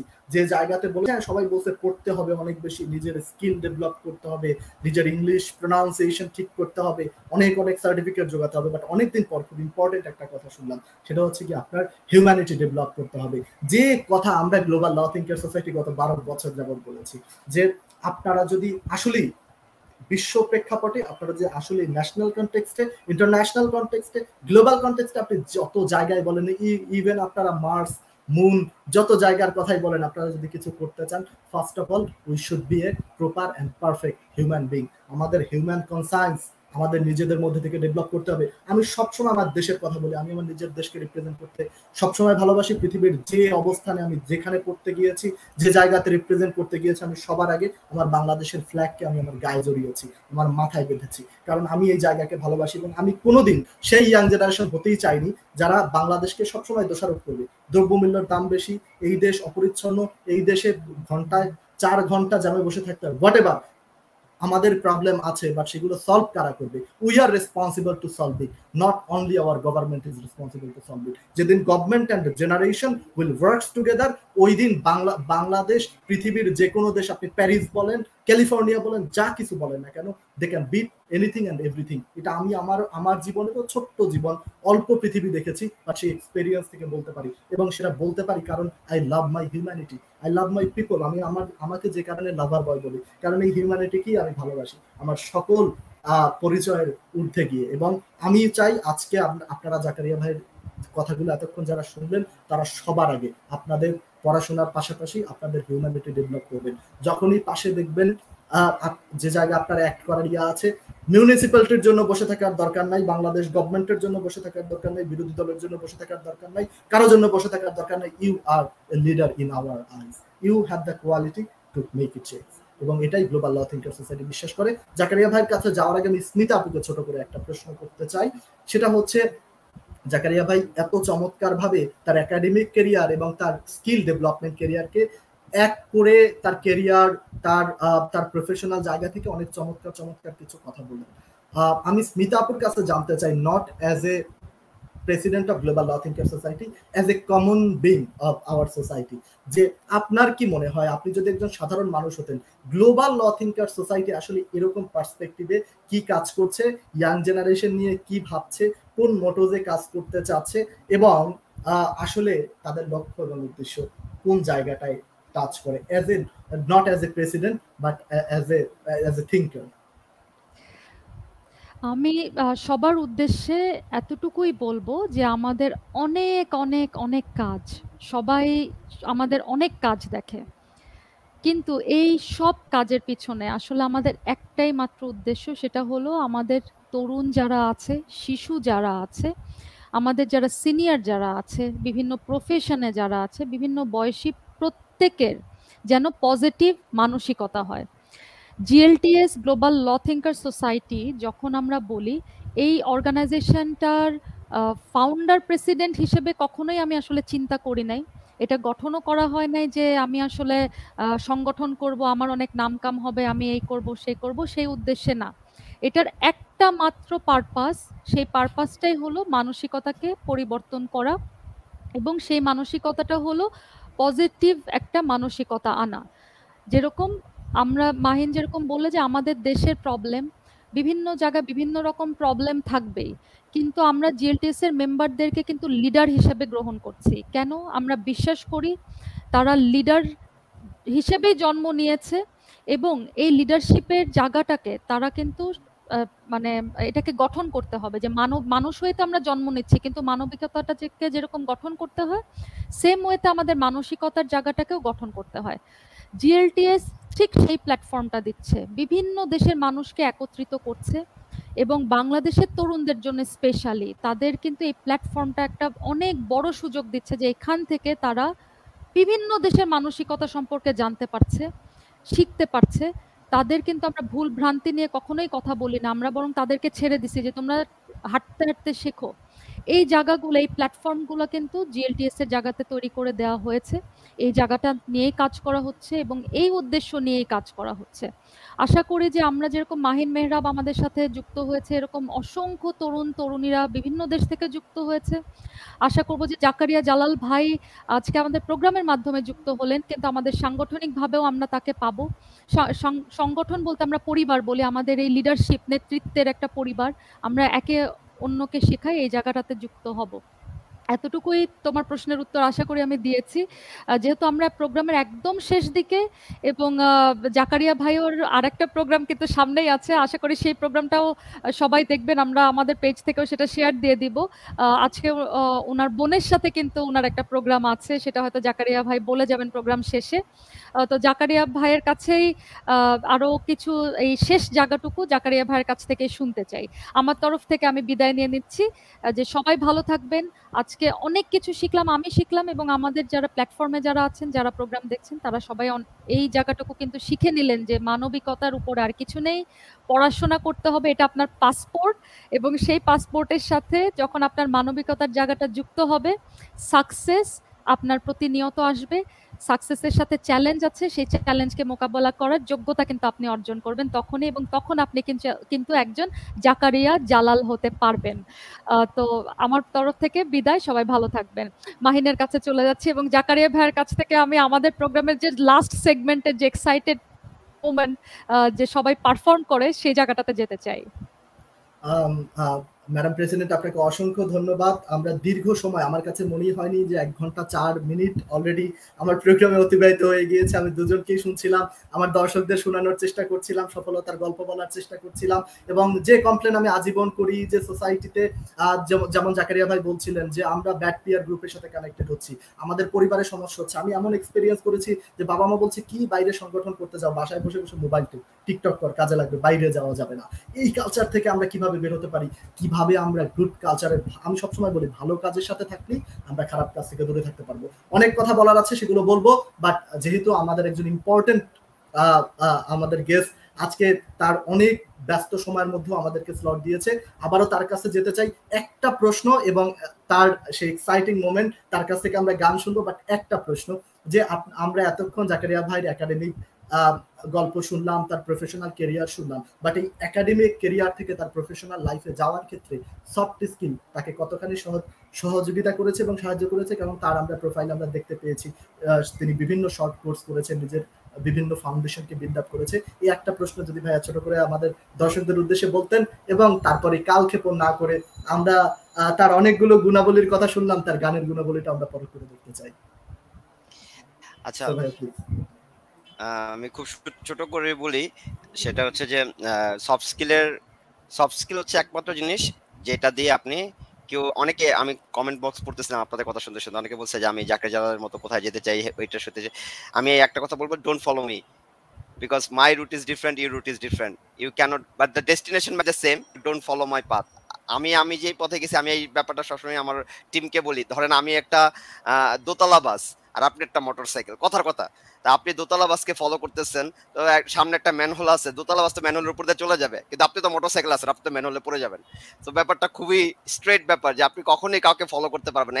Everyone has their own different route of going to the destination follow your passion and আমি যেটা বলব যে সফট স্কিল ছাড়া কোনো কিছু না সফট স্কিলের সবচেয়ে বড় ইম্পর্টেন্ট হচ্ছে কমিউনিকেশন যে চারটা বলছি। ওই বিদেশিরা যে আপনাদেরকে বিদেশ নেয়, ওই বলে যে, আইএলসে আর্ট নিয়ে আসো, তুমি বিদেশে ভিসা পাবা। They know why they are choosing this things so this the main things এই চারটা জিনিস ঠিক করেন মানে সব কিছু আপনার অটোমেটিক্যালি হবে। সফট স্কিলের মেন জিনিস হচ্ছে reading writing speaking and reading writing speaking and listening এই চারটাকে আপনি ঠিক করেন সব কিছু ঠিক হয়ে যাবে এবং you will be find yourself differentiated to the others একটা জায়গাতে আমি আপনার যেটা বলতে চাচ্ছি, আরেকটা ব্যাপার আমাকে ডিফারেন্সিয়েট করেছে লার্নিং মানে এগারনেস মানে জানার ব্যাপারটা মানে জানতে চাওয়ার যে ক্ষুধার্ত ব্যাপারটা হাংরিনেসটা এই জিনিসটা খুব দরকার। সো দ্যাটস ওয়াই আমি জাস্ট ছোট করে বলে, আমি MIT Sloan school of management MIT যেটা পৃথিবীর সবচেয়ে সেরা ইউনিভার্সিটি সেটা বিজনেস স্কুলে আমি প্রায় পনেরো দিনের একটা কোর্স করে এসেছি। তারপরে ইন্ডিয়ান ইনস্টিটিউট অফ ম্যানেজমেন্ট যেটা ইন্ডিয়ার সবচেয়ে বড় ইন্ডিয়ার আইবিএ বলা হয়, আহমেদাবাদ, সেখানে আমি একটা পনেরো দিনের কোর্স করেছি। টোকিও আইবিএম জাপানে আমি একটা পনেরো দিনের কোর্স করেছি। আমি ইন্টারন্যাশনাল ইয়ং লিডার্স অ্যাসেম্বলি থেকে করেছি। এগুলি কেন করেছি জানেন? নিজের টাকায় করেছি। যে আপু বলল, নিজের টাকায় অনেক সময় কোম্পানিকে দিয়েছে, তারপর আস্তে আস্তে যেটা নিজের টাকায় করেছি কেন? To learn to diversify myself to explore myself investing myself নিজেরা, নিজের প্রতি আমরা কি ইনভেস্ট করি না? আমরা সবাই মানে টাকা কামে হয়তো বা পরিবারের জন্য বা বিয়ের জন্য, এটা করব, সবই করব, কিন্তু নিজের জন্য না, অনেক কিছু করি না। So invest yourself is a very important heart punch line invest yourself আর এটা হচ্ছে এক্সপ্লোর এক্সপ্লোর থাকাটা খুব জরুরি। আমি জাস্ট একটা জিনিস বলে I have visited thirty two countries so far বত্রিশটা দেশ আমি নিজে ভিজিট করেছি। I have been in hundred and twenty five cities আমি একশো পঁচিশটা সিটিতে ঘুমাইছি সারা পৃথিবীতে, রাতে থাকছি। And I have visited sixty one districts of country একষট্টিটা জেলা আমি ভিজিট করেছি বাংলাদেশ। সো আমি বলি যে আপনি যদি একটা জেলা ভিজিট করেন, তাহলে আপনি এক মাসের অভিজ্ঞতা। আপনি যদি একটা দেশ ভিজিট করেন, তাহলে হচ্ছে আপনার ছয় মাসের অভিজ্ঞতা অ্যাড হয় আপনার ক্যারিয়ারে নাও ইউ আন্ডারস্ট্যান্ড আমার কত বছর অভিজ্ঞতা। সো এটা আপনারা ওইটা চেষ্টা করেন। Explore the things then you will find yourself differentiate to others explore invest learn learning reading that's all the basic very basic things আর দিন শেষে একটা কথা হচ্ছে বি হিউম্যান এটা হচ্ছে সবচেয়ে বড় কথা। সো আমার পক্ষে আর কোনো কিছু বলার নাই। থ্যাংক ইউ ভাইয়া, আপনাকে অসংখ্য ধন্যবাদ। আসলে আমরা আর কত আমরা আর, আমাদের আসলে শোনারই আর কি বাকি আছে? এত চমৎকার ভাবে সে আসলে একটা হিউম্যান পাথকে সে ডিসক্রাইব করে দিয়েছে, যে আমরা সফলতা নিয়ে ফ্রাস্ট্রেটেড হতে হতে কেউ সুইসাইড করছে, কেউ এডিক্টেড হচ্ছে, কেউ মাদক সেবন করছে, সব কিন্তু ফ্রাস্ট্রেশনের কারণে হচ্ছে। যে আমরা কিছু কিছু পাচ্ছি না, আমরা আমরা লেখাপড়া করছি বাট ওই, যেটা স্মিতা আপু বললেন, যে আমরা সেই বেতন পাচ্ছি না, ইয়া পাচ্ছি না। কেন পাচ্ছি না সেটাও আমাদের জাকারিয়া ভাই খুব স্পেসিফিক ভাবে আমাদেরকে আজকে জানিয়ে দিলেন এবং কীভাবে আমরা পেতে পারি, এই ফ্রাস্ট্রেশন থেকে পরিত্রাণ পেতে পারি, আমরা বাংলাদেশকে আপহেল্প করতে পারি স্টেপ আপ করতে পারি, প্রত্যেকটা জায়গায় কিন্তু আজকের এই এক ঘণ্টা নয় মিনিটের প্রোগ্রামের মাধ্যমে জাকারিয়া ভাই আমাদেরকে বলে দিয়েছেন। তো আমরা ভাইয়াকে আর আর রাখতে চাচ্ছি না, যেহেতু তার সামনে আরও একটা প্রোগ্রাম আছে। যাওয়ার আগে আমরা ভাইয়ের কাছ থেকে একটা গান শুনতে চাই এবং সেই গানের পরে সে আমাদের আজকের যারা ভিউয়ার্স আছে, যারা আজকের আমাদের এই প্রোগ্রামটা ফলো করল এবং সামনেও আমাদের এই প্রোগ্রামটা দেখবে এবং ফলো করবে, তাদের উদ্দেশ্যে ছোট করে যদি কিছু বলার থাকে। সো চলে যাচ্ছি, যাকে বলা আমি গান আসলে গাইতে পারি না। এটা কোনোভাবেই সম্ভব না, কিন্তু আমাকে আপনারা রিকোয়েস্ট করেছেন যে কিছু একটা করতে হবে। পরে দেখলাম যে স্কেপ রুট হচ্ছে গান। তো এটা দিয়ে বের হয়ে যাওয়াটা সহজ, কারণ সবাই আমরা একটু গুন গান গান গাই মানে আমরা হচ্ছে বাথরুম সিঙ্গার আর কি। তো বাট এইরকম একটা বড় পরিসরে যেখানে দেশ বিদেশের লোকজন দেখছে, সবাই সেখানে আসলে গান গাওয়াটা মানে অনেকটা বেয়াদবি পর্যায়ে পড়ে আর কি। তারপরও মানে যেহেতু আপনারা রিকোয়েস্ট করেছেন করব, তবে একটা জিনিস আপনাদেরকে জানিয়ে রেখি, আমার দুইটা ব্যাপার বলা হয় নাই। যেহেতু সব কিছু বলেছি আমার একটা অ্যালবাম রিলিজ হচ্ছে এই পসিবলি সেপ্টেম্বরে। আমি গাবো না ডোন্ট মানে ই হয়ে না, ভয় পান না। আমার লেখা আমার লেখা দশটি গান নিয়ে একটি অ্যালবাম রিলিজ হচ্ছে। দশজন নবীন শিল্পী ওখানে একটি গান আমি অ্যালবাম রিলিজ করছি। দশটি মৌলিক গান, এই প্রথম। অনেকদিন পরে আর আমার একটা লেখা বই আগামী ডিসেম্বরে বের হচ্ছে লন্ডন থেকে। যদি এভরিথিং গোজ রাইট হয়তো এখান থেকে বইটা হয়তো বা পাবলিশ হবে, তখন আপনাদেরকে হয়তো বই নিয়ে একদিন আলোচনা করব যে বই আসলে কি বলার চেষ্টা করেছি।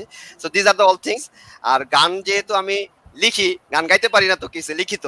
তো সেই কনসেপ্ট থেকে একটা গান গাওয়ার চেষ্টা করব। আমি জানি না কি হবে, না হবে। তো গানটা হচ্ছে আপনারা সবাই জানেন জলের গানের বকুল ফুল একটা গান মানে খুবই খুবই পপুলার একটা গান। আমি জানি না কতটুকু কি করতে পারবে, যদি বকুল ফুলের জলের গানের কারা এটা দেখে থাকেন, তাহলে ভাই প্লিজ মাফ করে দেন। আমাকে ওনারা প্রেশার করছে, তাই গাইতেছি। তো আমি শুরু করলাম। আল্লাহ কি যে বলি, হুম। বকুল ফুল বকুল ফুল সোনা দিয়া হাত কেন বান্ধাইলি? বকুল ফুল বকুল ফুল, সোনা দিয়া হাত কেন বান্ধাইলি? শালুক ফুলের লাজ নাই, রাইতে শালুক ফোটেলো, রাইতে শালুক ফোটে। শালুক ফুলের লাজ নাই, রাইতে শালুক ফোটেলো, রাইতে শালুক ফোটে। যার শোনে যার ভালোবাসা। হাই, যার শোনে যার ভালোবাসা, সেই তো মজা লোটেলো বকুল ফুল বকুল ফুল, সোনা দিয়া হাত কেন বান্ধাইলি? বকুল ফুল বকুল ফুল, সোনা দিয়া হাত কেন বান্ধাইলি? আমার জামাই দান বাই, হরিণী ডাঙ্গার মাঠে লো, হরিণী ডাঙ্গার মাঠে। আমার জামাই দান বাই, হরিণী ডাঙ্গার মাঠে লো, হরিণী ডাঙ্গার মাঠে। সোনা দেহে গাম জরে, হাই। সোনা দেহে গাম জরে দুঃখে পরান ফাটেলো। বকুল ফুল বকুল ফুল, সোনা দিয়া হাত কেন বান্ধাইলি? বকুল ফুল বকুল ফুল, সোনা দিয়া হাত কেন বান্ধাইলি? শাওন বাদর মাসে জামাই আদর করে লো জামাই আদর করে। শাওন বাদর মাসে জামাই আদর করে লো জামাই আদর করে। ইচ্ছে জামাই করবে আদর, ও ইচ্ছে জামাই করব আদর, দানা তো নাই ঘরে লো বকুল ফুল বকুল ফুল সোনা দিয়া হাত কেন বান্ধাইলি? বকুল ফুল বকুল ফুল সোনা দিয়া হাত কেন বান্ধাইলি? ধন্যবাদ। দর্শক আগে একটা কথা বলে নি আজকে প্রোগ্রামের মাধ্যমে দুটো জিনিস শিখতে পেরেছি। প্রথম কথাই হচ্ছে গিয়ে আমরা ছোটবেলা লিখতাম পরিশ্রম সৌভাগ্যের প্রসূতি এবং সেটার উদাহরণ হিসেবে আজকে আমরা একটা জলজান্ত উদাহরণ দেখতে পেয়েছি। আর দ্বিতীয় যে রাখতে জানে, সে চুলো বাঁধতে জানে। সেটারও একটা দেখলাম যে একজন সফল মানুষ, একজন বুয়েটিয়ান যে বাংলাদেশের অন্যতম বড় একটা প্রতিষ্ঠানে বসুন্ধরা এমপি গ্যাস গ্রুপের এক্সিকিউটিভ ডিরেক্টর হিসেবে আছে। তিনি গান লিখেন, তিনি গান গান। এটাই হচ্ছে ভার্সেটাইলিটি এবং আমার কাছে মনে হয় এরকম ব্যক্তিরাই তাদের নিজ জীবনে সফল হয় যিনি রাধেন এবং যিনি চুলো বাঁধেন। আমি আবারও ধন্যবাদ জানাতে চাই জাকারিয়া জালাল ভাইকে। তার এত ব্যস্ত সময়ের মাঝে আমাদের গ্লোবাল টকে সময় দেওয়ার জন্য ইয়াং জেনারেশনের জন্য চমৎকার চমৎকার মেসেজগুলো বিয়ার করার জন্য এবং তাদেরকে বোঝানোর জন্য আমরা কেন পারছি না, কি করলে পারব, আমাদের কি করা উচিত হিউম্যানিটি কতটা জরুরি ইভেন নিজেকে ডেভেলপ করার ক্ষেত্রে সো আমি জাকিরিয়া জালাল ভাইকে আর আটকে রাখতে চাই না, যেহেতু সে আর একটা প্রোগ্রামে জয়েন করবে এবং সেই প্রোগ্রামটা আপনারা দেখতে ভুলবেন না। আমরা গ্লোবাল ল থিঙ্কার সোসাইটির জিএলটিএস টিভি পেজে অবশ্যই আমরা সেটা পোস্ট করে দিব এবং সেখান থেকেও আমরা আশা করি আপনারা আবার নতুন ভাবে ইন্সপায়ার হবেন। আরও চমৎকার চমৎকার ব্যাপার জানতে পারবেন। আসলে এরকম একজন ব্যক্তির সাথে এক ঘণ্টা পনেরো মিনিট আসলে যুক্তিযুক্ত না। আরও অনেক সময়ের দরকার ছিল তার সম্পর্কে জানার জন্য। ভাই আমি একটু আপনাকে একটু ইন্টারাক্ট করি। আমার যে প্রত্যাশার পারদ যে উপর উঠাইছিলেন এখন পারদটা কোন জায়গায় আছে? এখন ভাইয়া পারদ ফেটে গেছে। সেটা কিন্তু আপনি কমেন্ট দেখলে বুঝবেন। সবাই কিন্তু প্রচুর সবাই দেখছে এবং আমাদের যে তরুণরা যারা আছে সবাই কিন্তু উপকৃত এবং আপনি প্রতিটা কথার মাঝখানে দিয়ে কিন্তু আপনার যে লাইফের যে যাত্রাটা সেটা দিয়ে কিন্তু আপনি আসলে শিক্ষাগুলো দিয়েছেন। যারা বোঝার তারা কিন্তু বুঝে শিক্ষাটা ঠিকই নেবে। অতএব পারো এখনও উপরে এবং আপনাকে এই প্রোগ্রাম আমরা একটা তো হলো এক ঘণ্টা। আশা করছি মাহিন, আমরা নেক্সট আরেকটা আরও বড় প্রোগ্রাম করব। এবং এবং আপু সেটা করাই উচিত, আমি বলি কেন? আমরা ওই বিভিন্ন সোশ্যাল মিডিয়া যখন স্ক্রোল করি সব জায়গায় দেখি ডিপ্রেশনের ইয়া। কেউ হচ্ছে গিয়ে প্রেমে ব্যর্থ হয়ে ডিপ্রেস মেসেজ দিচ্ছে কেউ চাকরিতে ব্যর্থ হয়ে ডিপ্রেস মেসেজ দিচ্ছে। আমরা না সফল ব্যক্তিদের কথাগুলোকে আসলে প্রকৃত অর্থে মার্কেটিং করতে পারছি না। আমার কাছে দিন শেষে মার্কেটিং খুব ইম্পর্টেন্ট একটা শব্দ। যে শব্দ দিয়ে ভালো কিছু করা সম্ভব, যে শব্দ দিয়ে খারাপ কিছু করাও সম্ভব। যে শব্দ দিয়ে মাদক বিক্রি করাও সম্ভব, যে শব্দ দিয়ে সফলতা বিক্রি করাও সম্ভব। তো আমরা আমরা যেটা করছি কি, আমরা ডিপ্রেশন বিক্রি করছি আমাদের সোশ্যাল মিডিয়া প্ল্যাটফর্মগুলোতে আমরা যেদিন সফলতার গল্পগুলো বিক্রি করতে পারব, সেদিন সমাজ অনেক দূর এগিয়ে যাবে। কারণ আমি তো একদম রুট লেভেলে কাজ করি ম্যাডাম প্রেসিডেন্ট আপনি জানেন আমি রুট থেকে রুট জায়গায় যাই মানুষের ডেভেলপমেন্ট মানুষের ওয়ে অফ লাইফ দেখার জন্য। এবং আমরা, আমি অনেক কোয়ালিফাইড মানুষ দেখতে পাই, কিন্তু তাদের সামনে রোল মডেল এস্টাবলিশ করতে পারি না। তাদের রিয়াল মোটিভেশনটা এস্টাবলিশ করতে পারি না। দেখি, আমরা যতটুকু পিছনে আছি এই একটা কারণে। যেদিন আমরা সেগুলো স্ট্যাবলিশ করতে পারব, আমাদের দেশ যে কোথায় যাবে I can challenge and I can assure within fifteen to twenty years বাংলাদেশকে কেউ কম্পিটি করতে পারবে না। কখনোই পারবে না যদি আমরা এটা করতে পারি। এনিওয়েজ আমরা জাকারিয়া ভাইকে ধন্যবাদ জানাই এবং একদম সর্বশেষ বারের মতো জাকারিয়া ভাইয়ের কাছে যেতে চাই আমাদের ইয়াং জেনারেশন সম্পর্কে আপনার বিদায়ের আগে যদি কিছু বলতে চান এবং গ্লোবাল ল থিঙ্কার সোসাইটি সম্পর্কে কিছু বলতে চান। বাট যাওয়ার আগে আমি অবশ্যই তার কাছ থেকে সেই কথাটা নিয়ে নিতে চাই। এই দেখাই শেষ শেষ দেখা না, আমাদের আবারও দেখা হবে জেমসের ভাষায় যদি একই পথে চলি এবং সেই একই পথে চলতেই চাই। আপনিও একজন মানবিক মানুষ গ্লোবাল ল থিঙ্কার সোসাইটিতে আমরা যারা ভলেন্টিয়ার হিসেবে আছি, এই পরিবারে আমরাও তেমন মানবিক মানুষ। এবং যেদিন বিভিন্ন সেক্টরের মানবিক মানুষরা একসাথে ইউনাইটেড হবে, আমরা যেমন বলি টুগেদার বিল বেটার ওয়ার্ল্ড সেদিন সত্যিকারই আমরা সবাই একসাথে মিলে ডেফিনেটলি বেটার ওয়ার্ল্ড করতে পারব বেটার ওয়ার্ল্ডের আগে আমরা আমাদের বাংলাদেশকে আমাদের মতো করে বিনির্মাণ করতে পারব। কারণ আমাদের দেশ আমরাই করব শুধু সরকার অথবা বিরোধী দলের দায়িত্ব না, এটা আমাদের প্রত্যেকের, প্রত্যেক প্রফেশনালের প্রত্যেক জায়গা থেকে দায়িত্ব। আমাদের দেশ আমরাই করব সেই প্রত্যাশা নিয়ে জাকারিয়া বাড়ির কাছ থেকে সেই কথা তো নিয়ে রাখতেই চাই, যে এই দেখাই যেন শেষ দেখা না হয়, আবারও যেন জেমসের মতো একই পথে, একই ভালো কাজের মাধ্যমে আমরা এক থাকতে পারি এবং সামনের দিনে আমাদের দেশকে, আমাদের ইয়াং জেনারেশনকে একসাথে ফেসিলিটেট করতে পারি। সো চলে যাচ্ছি জাকারিয়া ভাইয়ের কাছে সর্বশেষ ভাবে ধন্যবাদ। মাইন ভাই, আজকে তো এক ঘণ্টা বিশ মিনিট কথা বলব, এটা আমি নিজেও চিন্তা করতে পারিনি। শেষ পর্যন্ত এক ঘণ্টা বিশ মিনিট হয়ে গেল কথা বলছি। আমার আসলে গ্লোবাল ল থিঙ্কার সোসাইটিকে ধন্যবাদ জানাচ্ছি এবং গ্লোবাল ল থিঙ্কার সোসাইটি আমাকে এই অনুষ্ঠানে আমন্ত্রণ করেছে এবং কিছু শেয়ার করার সুযোগ দিয়েছে। এজন্য আমি ধন্যবাদ জানাচ্ছি সবাইকে যারা আমার কথা শুনেছেন, এতদিন এতক্ষণ ধরে যারা শুনেছেন। একটা গল্প দিয়ে আমি আজকের প্রোগ্রামটা শেষ করব। যে গল্পটা হচ্ছে দুই মিনিটের একটা গল্প। এই গল্পটা আমার আজকের পুরো আমাদের জার্নিটা শেষ করবে। আমি মনে সবাই একটু মনোযোগ সহকারে শুনবেন আশা করি। গল্পটা হচ্ছে একটি প্রতিযোগিতা হচ্ছে আর্ট প্রতিযোগিতা। সেই আর্ট প্রতিযোগিতাতে সাবজেক্ট হচ্ছে পিসকে নিয়ে আসতে হবে, শান্তি। তো তার একটা ছবি আঁকতে হবে, ছবিতে যাতে শান্তি ব্যাপারটা আসে। মানে পায়রা বা এরকম মানে শান্তির ব্যাপারটা আসতে হবে। তো সারা পৃথিবীর বড় বড় যারা শিল্পী আছে, তারা সবাই ওই তাদের আর্ট জমা দিয়েছে ওখানে। তো কেউ হয়তোবা দিয়েছে ধরেন একটি শান্ত নদীর ছবি, কেউ হয়তোবা দিয়েছে একটি জোর ইয়েতে পাহাড় থেকে পানি পড়ছে, সুন্দর, নীরব একটা জায়গার ছবি দিয়েছে। তো অনেকে ছবি জমা পড়েছে এবার জুরির বিচারকের পালা, জুরির বিচারক তার ছবি যেটা ভালো সেটা ডিক্লেয়ার করেছে। যে ছবিটা প্রথম হয়েছে, সে ছবিটা হচ্ছে একটা টর্নেডোর ছবি। একটা টর্নেডো মুভ করতেছে এবং টর্নেডোর পাশে একটা ঘর আছে এবং ঘরের মধ্যে একটা লোক দাঁড়িয়ে আছে। এই ছবিটাকে বিচারকরা প্রথম স্থান অধিকার করেছে। আমি বলেছি, এই ছবিটাই শান্তির প্রতীক।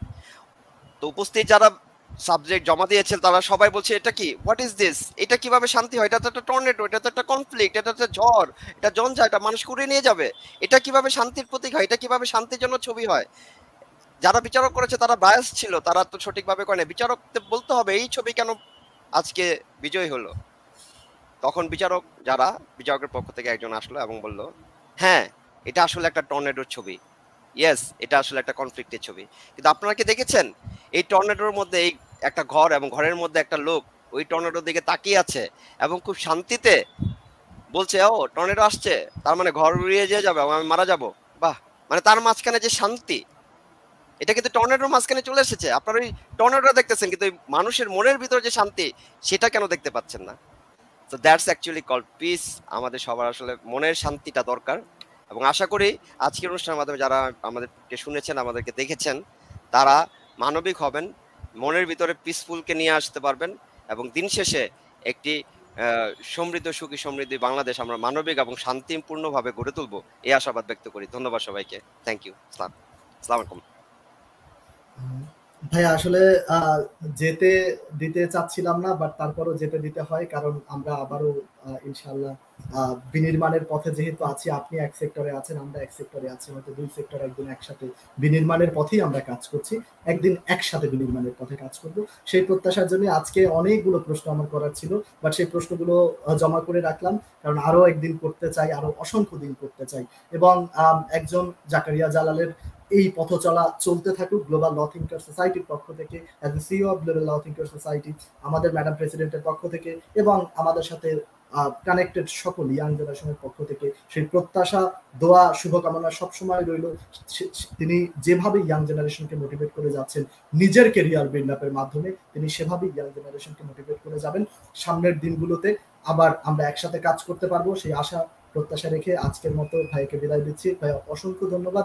গ্লোবাল ল থিঙ্কার সোসাইটির প্রত্যেকে আপনার প্রতি কৃতজ্ঞতা বোধ করবে, কারণ আপনার এই এক ঘণ্টা বাইশ মিনিটের প্রোগ্রাম যদি কোনো ইয়াং জেনারেশন মন দিয়ে শুনে থাকে, একজনও যদি মন দিয়ে শুনে থাকে must be change in future career এটা আমি হলফ করে বলতে পারি, কারণ আমিও আজকে আমি আমি যেহেতু মোটিভেশনাল সেক্টরে কাজ করি, আমিও আজকে অনেক চমৎকার চমৎকার কিছু ব্যাপার আমি জানতে পারলাম, যেগুলো আমি আমার সামনের দিনে যখন রুট লেভেলে কাজ করব, সেই ব্যাপারগুলো আমি সেসব রুট লেভেলে উপস্থাপন করার চেষ্টা করব।